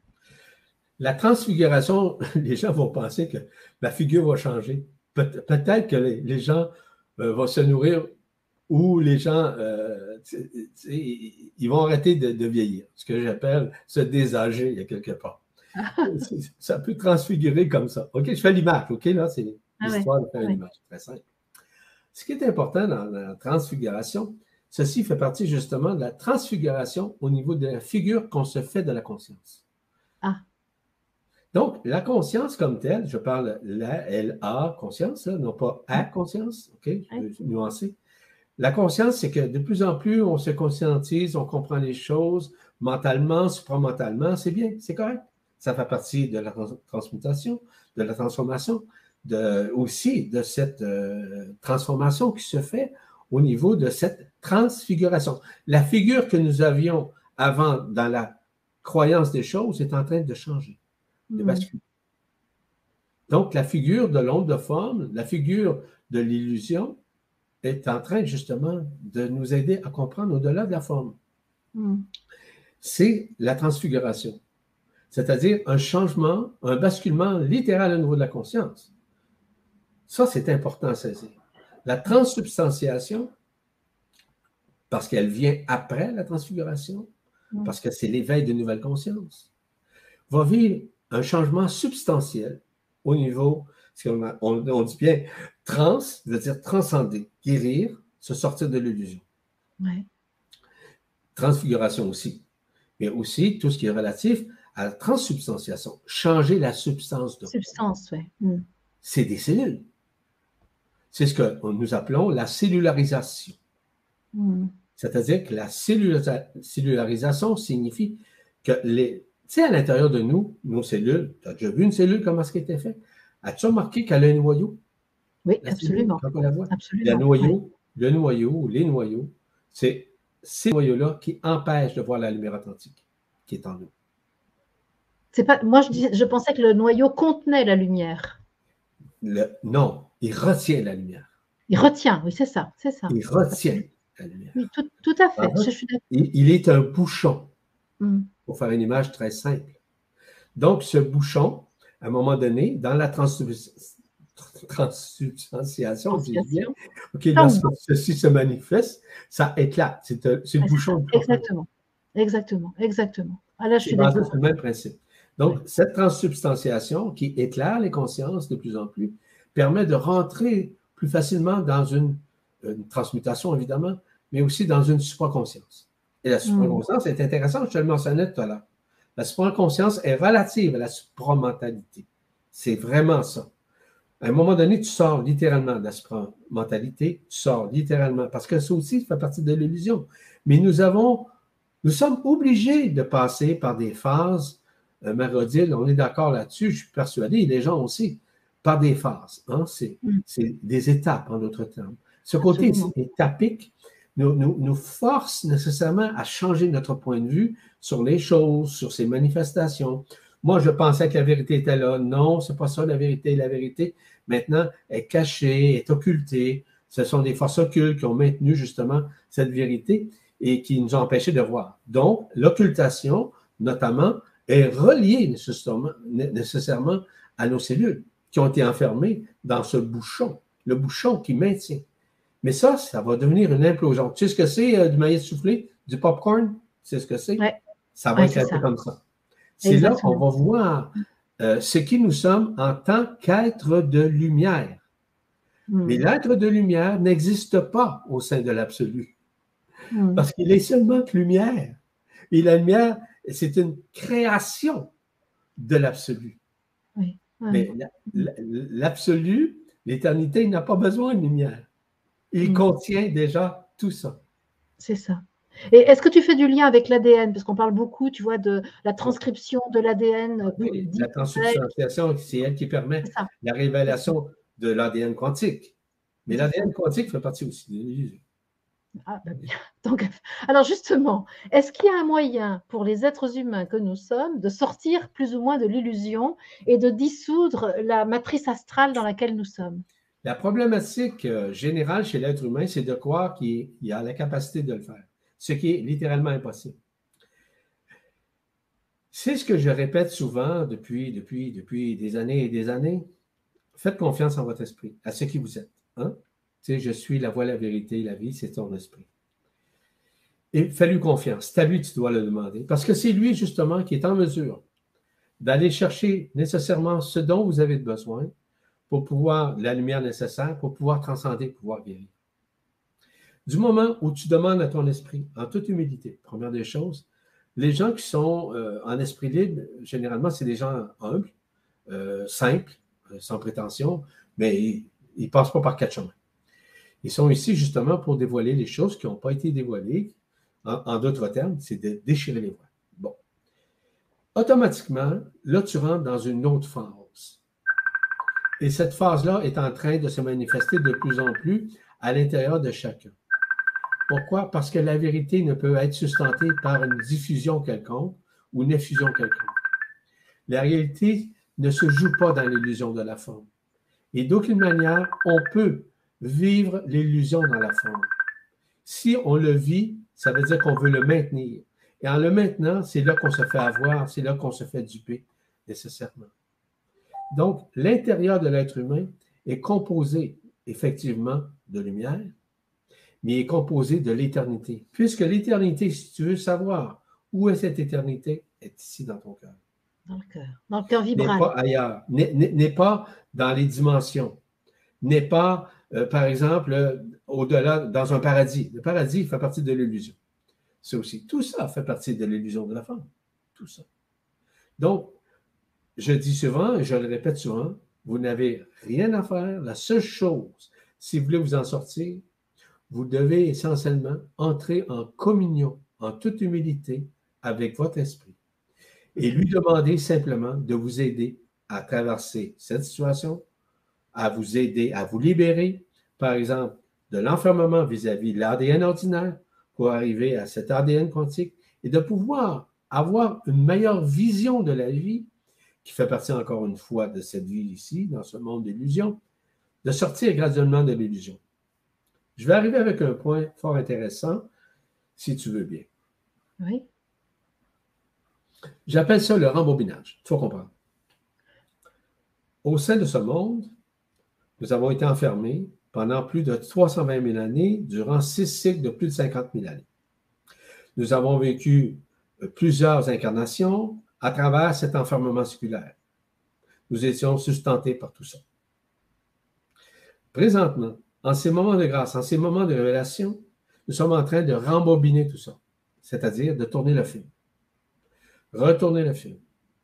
Le film tourne en envers présentement pour que nous puissions voir. Tu sais, les gens disent, moi, j'ai vu circuler devant l'écran de ma conscience des personnages. En réalité, ce sont les personnages de TV antérieure qui viennent de sortir. Et c'est vrai, là. C'est ce que le rembobinage est en train de se faire. Attends, c'est pas terminé. Ceci fait partie du rembobinage de la vie dans l'enfermement, c'est-à-dire d'un nombre de vies incommensurable au sein de cet enfermement séculaire. Mais ça, ce n'est pas terminé. Ceci est en train de se faire. Et ce n'est pas l'apanage de l'être humain. Ce n'est pas lui qui décide ça. Là. C'est pas lui qui va aller, par exemple, en hypnose puis aller voir ça. C'est impossible. Ça, c'est de l'enfermement, encore une fois, l'hypnose. Dans, ce contexte-là. Je ne rentre pas dans les détails, encore une fois. Comme je te dis, je pourrais te jaser ça pendant longtemps. Ce qui est important de saisir, c'est que ce rembobinage étant terminé, là, tu vas rentrer dans le rembobinage de ton origine stellaire. C'est là que tu vas rencontrer tes lignes interstellaires. C'est là que tu vas comprendre comment fonctionnent les lignes interstellaires. C'est là que tu vas voir comment tu étais libre, c'est-à-dire de pouvoir voyager à travers les dimensions, à travers les mondes, à travers nécessairement des, univers, des multivers, des super-univers en toute liberté. C'est ça l'origine stellaire avec les lignes interstellaires. C'est ce que nous avons vécu avant l'enfermement. Donc, il y a un rembobinage également qui est en train de se faire. Vois-tu, ce rembobinage, moi, il y a plusieurs années, j'ai vécu mon rembobinage au niveau de, mon origine stellaire, des lignes interstellaires. C'est pas parce que je veux me vanter de ça. Écoute, tout ce que je vous dis, je l'ai expérimenté. C'est simple. Je veux qu'on s'entende là-dessus. Je l'ai vécu, donc je peux vous en parler de n'importe quoi. Parce que c'est le moment de vous en parler, de vous expliquer ces mécanismes-là qui ont été cachés, qui ont été occultés pendant des âges. Maintenant, du moment où cette origine stellaire a été transcendée, c'est-à-dire a été rembobinée, c'est-à-dire l'histoire qui a été enregistrée au niveau de ce que j'appelle les annales géodésiques, que j'appelle les annales euh, de la source centrale ou d'Alcyone, là aussi, ceci va disparaître. Le film de ça va aussi disparaître pour mm. arriver à retourner et renouer avec l'éternité. Mm. Oh là là là, c'est difficile à croire. Les gens aimeraient bien. Tu sais, combien de personnes qu'on a connues de vouloir connaître leur vie antérieure? Mais ce qu'ils connaissaient, c'était uniquement leur vie antérieure dans l'enfermement. Il y a plusieurs années de ça, Marie-Odile, je faisais la lecture des lignes interstellaires. Je faisais ça. C'est-à-dire, bien au-delà de l'incarnation ici, mais de l'incarnation primordiale où j'expliquais les tenants et les aboutissants de ces mécanismes. J'ai fait ça pendant plusieurs années. OK? J'ai même refusé les demandes à plus de 3600 personnes. Crois-le. C'est tout le monde à la messe, hein, comme on dit. Bon. Et j'ai refusé. Pourquoi? Parce que les gens s'égoïsaient avec ça. Ouais, c'est d'orgueil. Il y avait une identification. Hmm. Exactement. Là, hmm. j'expliquais, écoute, même il y a des gens qui, me, que je vois encore, qui ont reçu la lecture de leur ligne interstellaire, de l'origine stellaire, ils l'ont réécouté dernièrement, puis ils ne reviennent pas. Tout ce que tu as dit, je, je, suis en train de le vivre. Ben oui. C'est au-delà de l'enfermement, au-delà de cet enfermement, c'est-à-dire des vies antérieures, ici. Donc, l'origine stellaire, pardon? Non, vas-y, vas-y, je te laisse continuer et je te demanderai après. Donc, l'origine stellaire, c'est fort intéressant, où nous avons créé nous-mêmes avec l'esprit, justement, ce fait d'être libre au sein des mondes, au sein des dimensions, etc. Mais vrai. Mm. Mais là, maintenant, ceci faisait partie justement de l'expérimentation de la matière. Mais tout ça est en train de disparaître. Mm. Que ce soit nos vies antérieures ici, que ce soit notre origine stellaire, nos lignes interstellaires, tout ça est en train de se rembobiner. Mm. Ce rembobinage est littéralement la vérité qui est en train de s'interposer au sein des consciences présentement. Et les gens, là, ouf, ça fait mal. Euh, qu'est-ce que je vais faire en éternité? Parce que d'entendre. Parce qu'en éternité, tu ne fais rien. c'est ça, c'est un, tu un état. La, vérité, la vie. et c'est là que tu comprends mm. toute la création, puis tout au-delà de ton expérience humaine, et surtout, entre guillemets, c'est comme l'expérience espritique avec l'esprit que nous avons vécu. Mm. Est-ce que tu serais d'accord, euh, Yvan, là, pour euh, nous, donner quelques bah, portées, peut-être dans l'instant présent, euh, une fréquence qui soit de nature à nous emmener dans cette communion avec, avec l'être, avec, avec l'amour initial que nous sommes? Est-ce que tu serais d'accord là pour. C'est ce que je fais depuis le début. Ben oui, c'est ça. Mais c'est pour ça que je te propose de le, peut-être de le, ben oui, de je ne sais pas comment, comment te dire. Est-ce que comment tu fais quand tu veux emmener Moi, je ne fais rien, je fais seulement qu'instantanément dire les choses. Donc, depuis tout, à l'heure, si tu parlais aux gens, par exemple, qui, suivent euh, cette activité ou cette entrevue, tu peux leur demander que certains, certaines vont être bouleversés. Certains, certaines je vois, je, vois je, vois, oui, effectivement. Hmm. C'est normal. Hmm. Déjà, ça veut dire qu'il y a une transformation qui est en train de se faire. Oui. Hmm. Parce que moi, je, ne peux pas être d'aucune façon dans un rituel quelconque. Je suis déritualisé. Je suis hmm. complètement déconceptualisé. Donc, tu sais, dans le mot spiritualité, tu as le mot rituel, hein? Ritualité. Ah. Bon, hmm. c'est de l'illusion. Quand on dit le mot spiritualité, tu as le mot spirit. Spirit en anglais, ça veut dire esprit en français. Hein? C'est ça que ça veut dire. Nous rentrons dans l'espiritisme présentement et non pas dans une culture qui est rituelique. Parce que je ne peux pas rentrer là-dedans. Je n'ai jamais rentré là-dedans comme tel, dans des rituels ou encore dans une transformation. Les gens qui suivent les stages qui suivent un séjour, qui suivent un séminaire, c'est pas moi qui les transforme, c'est eux qui se transforment. Grâce au Verbe. C'est ce que c'est le Verbe qui se fait chair? C'est le pouvoir créateur. C'est le pouvoir créateur, oui, ce qu'on appelle le langage vibratoire de la vie authentique, hmm. qui permet justement de sustenter l'invisible, de sustenter l'illusion, de libérer tout ça, de désocculter ce qui a été occulté. Oui, c'est ça. Et le verbe qui se fait cher, justement, c'est ce que je fais avec toi, avec d'autres aussi, à chaque stage, à chaque séminaire. Donc, je n'ai rien à faire euh, comme tel dans le faire ou dans un hmm. rituel quelconque. Mais, ok, super. J'espère que tu comprends les nuances. Oui. Le verbe qui se fait cher, c'est ce verbe qui permet cette transformation, cette transsubstantiation, cette transmutation quelque part. Donc, les gens, si, tu, rentres en contact avec des gens dans les prochaines heures, prochains jours, quoi que ce soit, tu vas voir qu'il y a quelque chose qui sont changés, qui ont changé. Il y en a qui vont vouloir résister, il y en a qui sont encore dans des réticences, dans des résistances, encore dans des croyances. Non, non, moi, je n'ai pas lu ça dans les livres, je suis désolé. Tout ce que je vous révèle, ce n'est pas écrit dans les livres. Désolé. Mm. OK? Mm. Et euh, on est maintenant, nous balayons, évidemment, avec le verbe qui se fait cher, tout ce qui est illusion, tout ce qui est éphémère, tout ce qui a été occulté. Nous balayons tout ça. Avec la lumière, évidemment. C'est la lumière qui œuvre. C'est ce qu'on appelle le langage de la lumière, le verbe. C'est le verbe créateur qui permet justement d'aider aux gens à se transformer, à vivre ce trans, cette transsubstantiation-là, mais ce trans-inversement au niveau de la conscience qu'on appelle le basculement de la conscience. Et ce basculement de conscience va se faire d'une façon encore plus fluide au cours des prochains temps. C'est ce que j'appelle aussi un nouvel alignement. Et l'alignement, c'est bien au-delà du mental. C'est bien au-delà même du supramental. C'est le verbe qui se fait chair à travers la conscience afin que la conscience s'expanse, mm. afin que la conscience devienne encore plus fluide, plus claire, plus, euh, euh, plus libre en tant que telle. Mm. Donc, nous sommes, depuis le début, on parle au-delà de la conscience ordinaire. La conscience ordinaire, c'est la conscience collective, c'est le subconscient, c'est tous ces mécanismes-là. Mais là, nous traversons tout ça. Et dans le verbe qui se fait chair, ben, cela se fait. Et le verbe qui se fait chair vient de l'esprit, vient de la lumière, qu'il mm. est le seul à pouvoir transformer les gens. C'est le verbe qui fait ça. Ce n'est pas la mm. personne qui l'indique. Je reçois, je le transforme, et à ce moment-là, je le transmets. Mais ce n'est pas moi. C'est simplement, je suis le messager. Je suis simplement l'intermédiaire. Donc, je n'ai pas la prétention que c'est moi qui fais ça. C'est ce que je reçois inspirativement de l'esprit qui me permet d'user du verbe qui se fait chair dans un verbe très clair, très précis, et de, vivre instantanément, tout simplement. Mm-hmm. Mm-hmm. Donc, les gens le vivent présentement. Tu vois? Oui, tout à fait. Euh, euh, non plausible. Mais en réalité, c'est plausible. Parce que, est-ce que, est-ce que toi, c'est important pour toi de passer, enfin, de prendre en considération la dimension collective? Par exemple, là, tu vois, on est 900 personnes à peu près.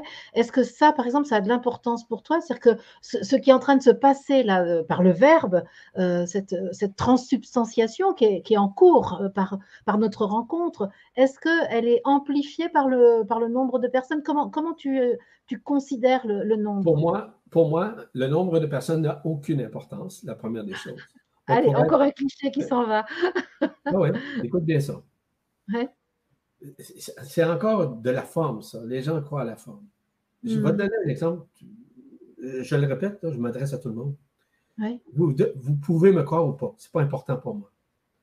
Lorsque je fais une conférence en public, par exemple, en direct comme ça, ou dans un séminaire, ou dans un stage, ou encore un séjour, peu importe Très honnêtement, si tu savais le nombre de personnes par centaines de milliers qui suivent l'activité, tu serais littéralement bouche bée, yeux bée et le reste. Et ce n'est pas des blagues que je fais. Ce n'est pas des blagues. Je suis très sérieux dans ça. Donc, lorsque je communique, à chaque fois, si tu savais le nombre de personnes qui assistent, visibles, invisibles, sur des plans, sur des dimensions à la fois, même des gens qui sont décédés qui assistent. C'est spécial, hein? Mais c'est la C'est logique. cette forme de vie continue. Exactement. Ça, c'est grâce à qui? Pas à moi. C'est grâce au Verbe. C'est lui qui appelle. Le Verbe rentre dans le cœur. il dépasse l'entendement humain, dépasse l'entendement du mental. Hmm. C'est le Verbe. C'est le Verbe tout simplement qui œuvre. C'est un Verbe créateur, un Verbe co-créateur. Tout ce, que, tout ce qui est créé pardon, à travers le Verbe permet cette transformation chez l'être humain. Il vit une transsubstantiation. Hmm. Ça atteint la personne. Ça dépasse largement l'entendement de la personne. Parce que oui, il a appris beaucoup de choses, il a compris, il a lu beaucoup, il, a expérimenté. C'est parfait, c'est correct, ça. Ceci hmm. faisait partie des étapes à travers lesquelles, lesquelles elle devait ou il devait traverser. C'est normal, c'est correct. Mais à un moment donné, il y a un basculement qui se fait. Et c'est ça que les gens me disent lorsqu'ils assistent au, séminaire, aux conférences ou encore au stage. Les gens sont transformés, mais ce n'est pas moi qui transforme. Je n'ai jamais eu la, prétention de transformer personne. Mais le mm. verbe qui me traverse inspirativement via mon esprit et la lumière authentique qu'il diffuse en moi permet justement, par le verbe, d'aider les gens à se transformer. Donc, je suis mm. le messager. Vous pouvez rejeter le, messager, vous pouvez le, le crucifier si vous voulez, c'est pas grave. ça n'a aucune importance. Le messager, lorsqu'il œuvre, je suis certain qu'aujourd'hui, tu, es touché toi-même. Oui, bien Or, si toi, tu es touché avec ta conscience, imagine-toi que les autres le sont également. Dans quel, à quel niveau ça, on ne peut pas? On ne peut pas deviner, comme mon papa le disait souvent, je ne peux pas le diviner.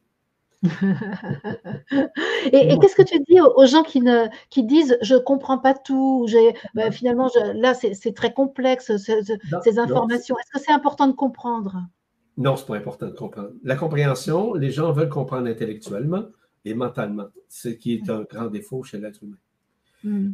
Ce qui est, un jour, les gens vont comprendre, c'est ce qu'ils sont. Je dois utiliser le verbe qui paraît parfois euh, peu loquace, on peut dire, qui peut paraître des fois hmm, incompréhensible, ceci est possible. Je te dis qu'il y a plusieurs personnes, justement, qui m'ont dit, tu sais, au début, j'avais beaucoup de difficultés à comprendre ce que tu dis. Hmm. Mais aujourd'hui, je comprends. Là, je te parle des fois une semaine après, quelques mois après, un an hmm. après ou deux ans après. J'ai des gens qui suivaient les activités, je parle, de, je sais pas, des années 2000, OK, même 90. Ils disaient, à ce moment-là, je crois, comprenais pas. Là, aujourd'hui, je reviens là, parce que je commence à comprendre tout ce que tu m'avais dit. Je te parle il y a longtemps. On parle de 20 ans, 30 ans. Tu sais, je peux parler il y a 40 ans, 38 ans, 1984, où l'esprit, l'esprit de la source centrale s'est installé au sein de la planète Terre et au sein de chaque être humain. Le 18 août 1984. Bang, précisément. Ça, les gens. C'est une date clé, ça, 18 août 1984 la, clé, oui, c'est la date clé où l'esprit de la source est venu adouber chaque être humain. Et ça, ça, s'est vu par un événement particulier ou c'est une information que tu as vue passé. Tu regardes différentes étapes. Je vais, je, vais ouvrir une parenthèse, je vais la fermer rapidement. C'est que nous, nous euh, ouvrirons prochainement, nous allons lancer notre euh, prochain site. Et il y a des choses que j'ai faites en privé, OK, qui ne sont pas disponibles que, pour très, très peu de personnes. Mais mm. tout ce que je viens de te dire, OK, que j'ai déjà enregistré, va être disponible sur notre site ah, prochainement. Donc, pour expliquer tout la, la communication, c'est bloqué. Donc ça, ça veut dire qu'on est en train d'aborder quelque chose d'important, j'imagine. Ah oui. Alors, qu'est-ce que je fais quand c'est comme ça? Ça, ça continue dans, euh, Est-ce que vous pouvez me dire si vous captez encore Yvan? Chez moi, c'est bloqué, c'est figé. Ah, pas moi. Alors, alors, alors. On est en train de brasser la canisse. Je vais rafraîchir.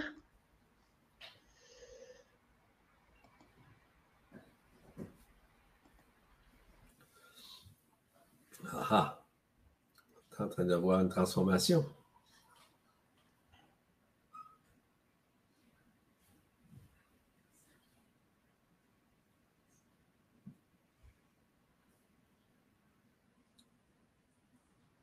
Figure-toi que nous avons été coupés, Yvan. Ben, c'est normal. tu étais, totalement en train. les, algorithmes, écoute bien, les algorithmes de la matrice astrale, parce que notre vie ici est sous la juridiction la gouvernance de la matrice astrale. Et ça, ça fait mal parce qu'on dit la vérité. C'est ça. Moi, ça ne me dérange pas du tout. Et donc, tu étais en train de nous parler de l'événement du 18 août 1984 où euh, l'information est descendue euh, sur la de la source centrale. C'est l'adoubement que chaque être humain, afin de réveiller en eux leur cœur vibral, en vue nécessairement de pouvoir renouer avec leur esprit. Et c'est ça qui est arrivé. Ben, il y a d'autres dates, je ne rentre pas dans les détails. Mais dans, dans ce que j'ai fait, dans les, les capsules privées que j'ai faites, j'en parle. Je parle même en détail, chronologiquement, comment ça s'est déroulé au cours des, des âges, hein, dans l'enfermement séculaire et même avant l'enfermement. Oui, mmh. oui. En fait, euh, je me rappelle de, Mère, la compagne de Schreier-Robindo, qui parlait, elle, d'un événement, euh, je crois le 28 ou 29 février 1956. Elle, parlait de la descente du supramental sur la Terre. Et donc, est-ce que tu veux dire qu'il y a régulièrement, parce que bon, elle, c'est ce qu'elle a capté, est-ce que régulièrement, comme ça, il y a des, comment dire, des, des descentes, on peut dire, d'informations de l'amour vers, vers l'humanité? Ben, Effectivement, Marie-Odile, c'est comme ça que ça fonctionne d'ailleurs. Parce que c'est la source. Au départ, pour l'information de tout le monde, l'intelligence de la lumière, c'est pas mal plus intelligent que l'intellect et le mental. Ça remarqué aussi. Hein? on, va, s'entendre là-dessus. Ça, c'est fondamental. Et ces époques-là, et j'explique tous ces mécanismes-là, hein, dans la chronologie que j'ai faite, je parle de, centaines de milliers d'années, même en arrière, de, de millions d'années même en arrière. J'explique tous ces mécanismes-là. Ça, ça va être disponible. Donc, je ferme la parenthèse encore, parce que là, il n'y a rien de lancé, ça s'en vient dans les prochaines semaines. Mais ce qui est important, c'est que vous sachiez que vous êtes bien au-delà de ce que vous avez appris, ce que vous avez compris. Et peu importe les livres qui ont été diffusés, quels qu'ils soient d'ailleurs. Il y a beaucoup de livres qui ont essayé de vous dire la vérité, mais ils étaient sustentés, je vous l'ai mentionné au tout début, que moi, j'ai été sustenté une partie par la matrice astrale, avec les annales cachées dans un premier temps, et dans un second temps, avec la matrice christique, ou ce qu'on appelle aussi nécessairement les annales euh, géodésiques ou Alcyone ou la source centrale, c'est la même chose. Mm-hmm. Et là, ben, aujourd'hui, ben, et, d'ailleurs, beaucoup de mes livres n'ont jamais été diffusés, n'ont jamais été euh, publiés, jamais, jamais, au grand jamais. Au grand jamais, parce que les deux étaient, étaient ensemble. Donc, il y en a une partie où j'expliquais les faussetés et les choses de la vérité. Mais des fois, je me faisais euh, arnaquer par la matrice. Et ce pas des blagues que je fais, là. J'ai mhm. toute cette transparence pour vous dire qu'est-ce qu'il en est. Mais je devais essentiellement l'écrire pour comprendre tous les mécanismes qui sous-tendent les voies de la matrice astrale, les voies de la bibliothèque quantique vis-à-vis les voies uniques dans l'unité de la source centrale. Mais ça, je passais d'un état à l'autre, mais je devais essentiellement le passer, l'écrire pour pouvoir aujourd'hui vous en parler en toute neutralité. Et c'est ça.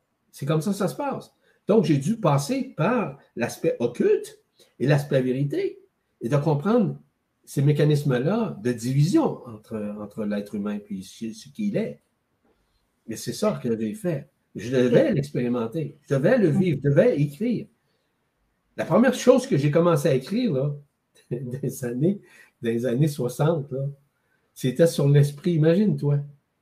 Je parlais de l'esprit, je ne savais même pas ce que j'écrivais. J'écrivais tout, tout, tout, tout, tout. J'écrivais à, la main à ce moment-là. Je n'avais pas d'ordinateur.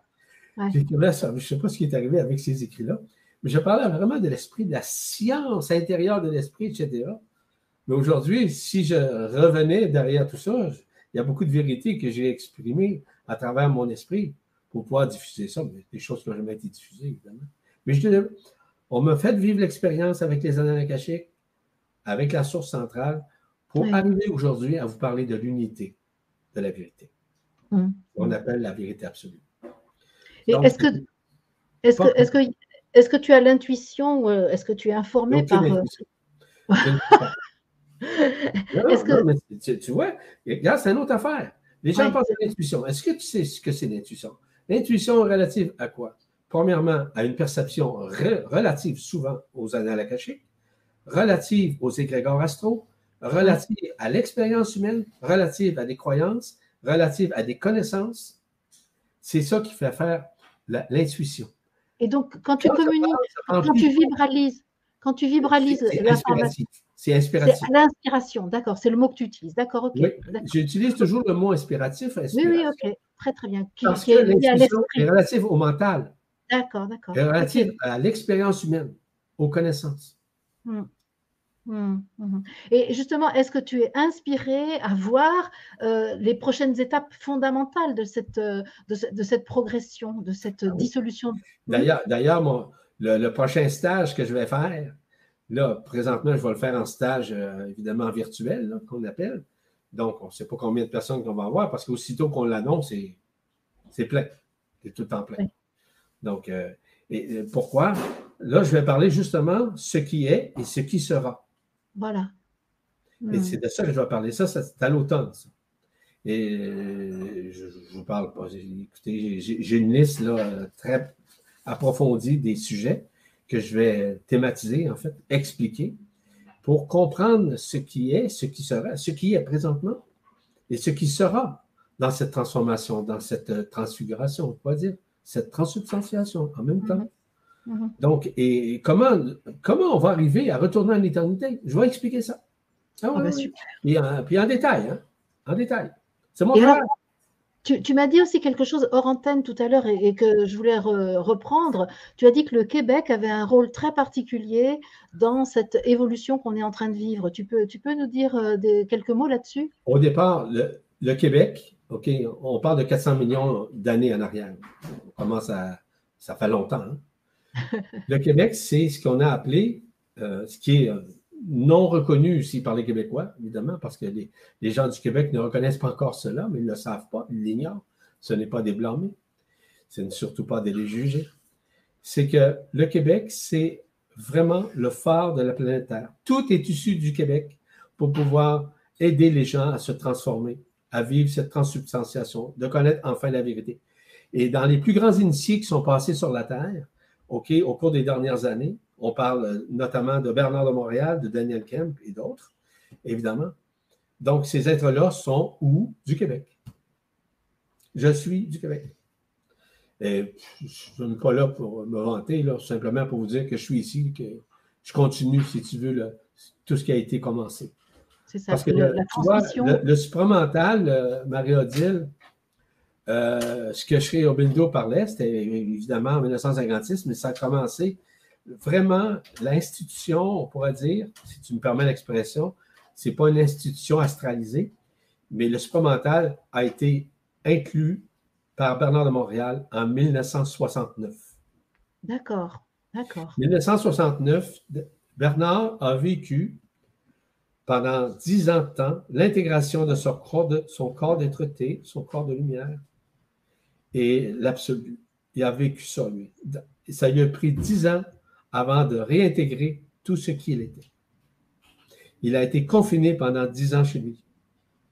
1979, il a commencé ses conférences privées et en public à ce moment-là. Et Daniel Kemp aussi, ça a été basé sur le même principe. Et ce sont, je te l'ai dit, des amis personnels, mm-hmm. que j'ai rencontrés comme je te rencontre là, mais en physique, évidemment.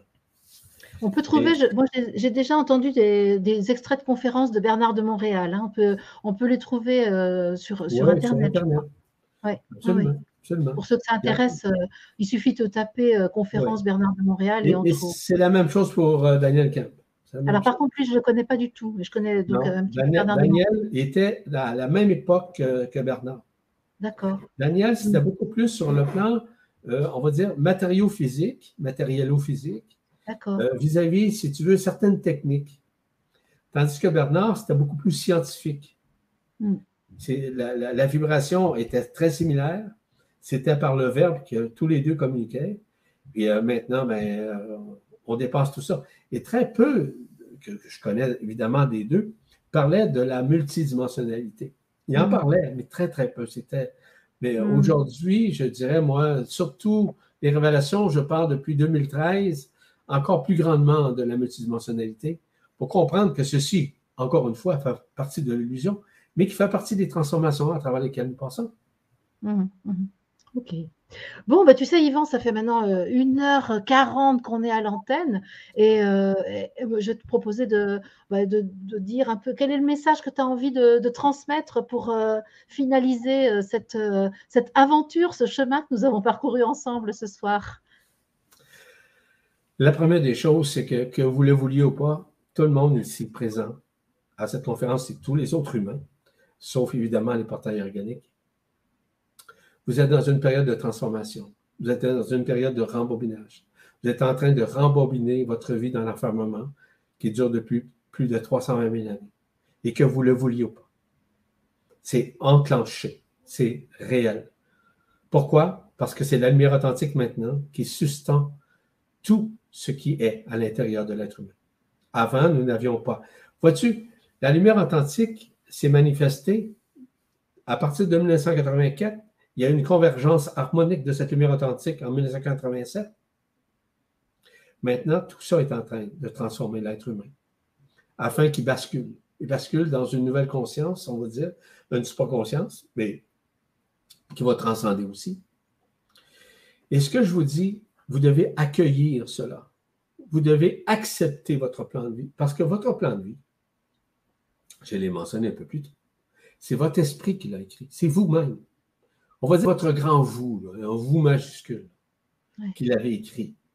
Et que vous n'avez pas le choix d'accepter ce plan de vie-là, de le vivre, malgré les difficultés, malgré les incohérences, malgré les aberrances, malgré les bontés, malgré les malveillances, malgré euh, aussi les bienfaisances.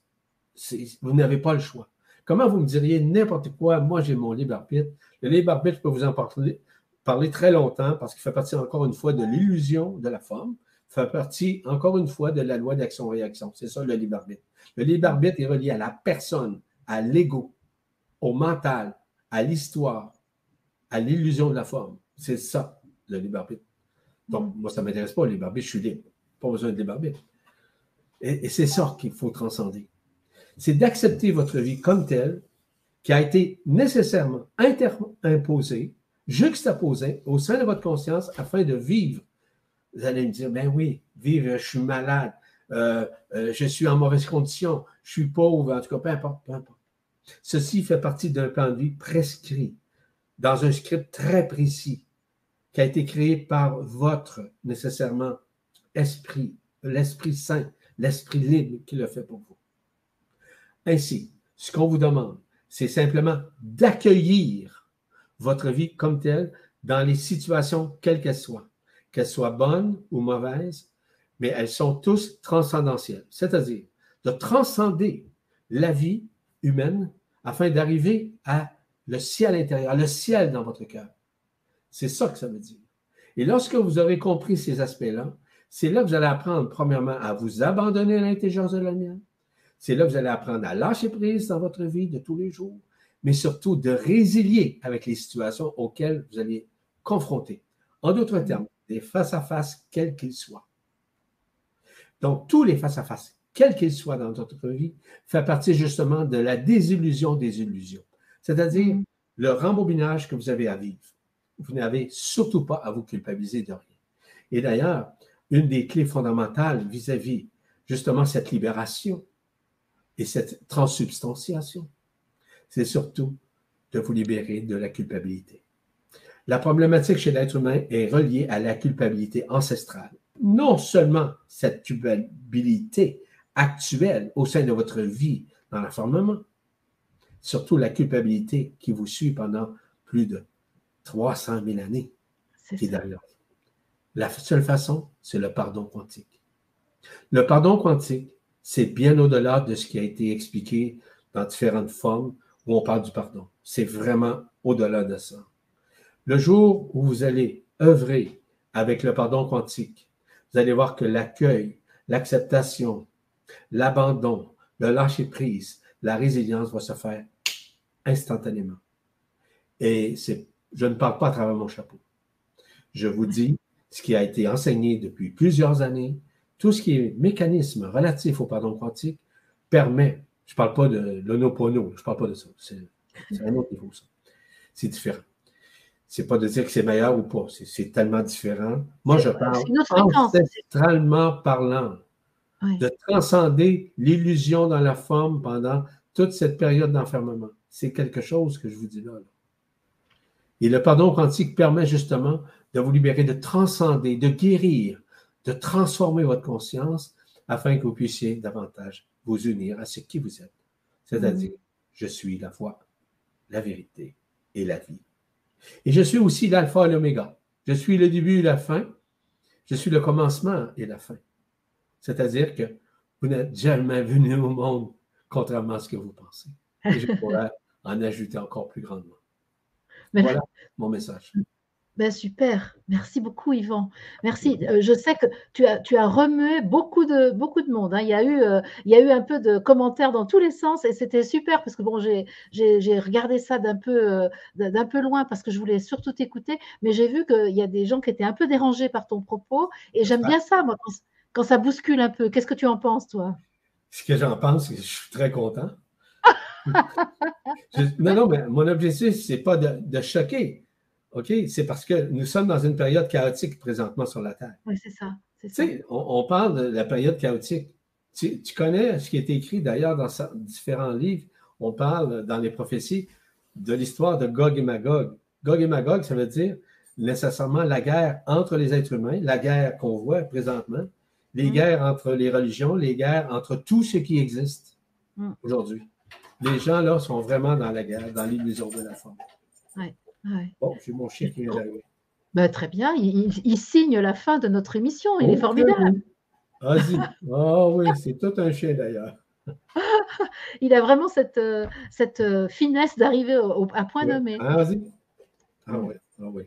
Regardez bien monter l'escalier. Ah, ah, il va s'installer là. Ah, voilà, juste derrière toi, voilà. Ah, ok. il arrive de dehors, il est allé jouer. Qu'est-ce qui se passe avec toi? Bon. Mm. Merci beaucoup, Yvan. C'était passionnant de, t'écouter. Euh, j'ai vraiment beaucoup appris. Et euh, ben, voilà, c'est une, façon de dire les choses que j'ai vraiment apprécié parce que ça, ça oblige à bouger toutes les, tous les repères. Et ça, forcément, c'est génial parce que ça, ça, met du mouvement dans la conscience. ces repères-là sont en train d'être défaits. On est en train de les défaire présentement, de les déconstruire. Ça fait partie du processus. C'est des processus nouveaux. Hein? Ce n'est pas une nouvelle terre, c'est le neuf que vous devez retrouver en vous de tout ce qui a été caché pendant cette période. Quand on dit que l'âme a été transinversée, quand on dit que tout a été transinversé, ouf! Tu sais, les gens qui donnent des soins, qui font leur possible avec tout leur, tout leur amour, mais ils ont erré, puis c'est pas volontaire.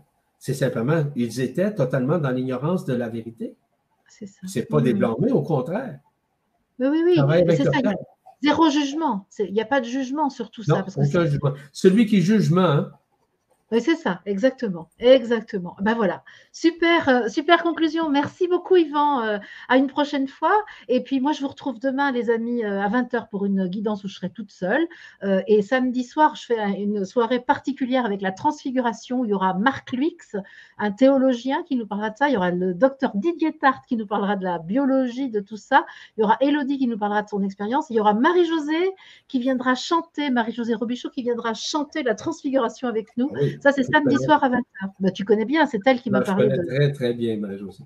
Ah ben, moi, j'adore son talent. Hein, donc, ah euh, d'adorer son talent parce que moi aussi. Super. Merci beaucoup, les amis. À demain soir. Yvan, je, te garde pour te dire un au revoir euh, plus privé. Au revoir, les amis. D'accord.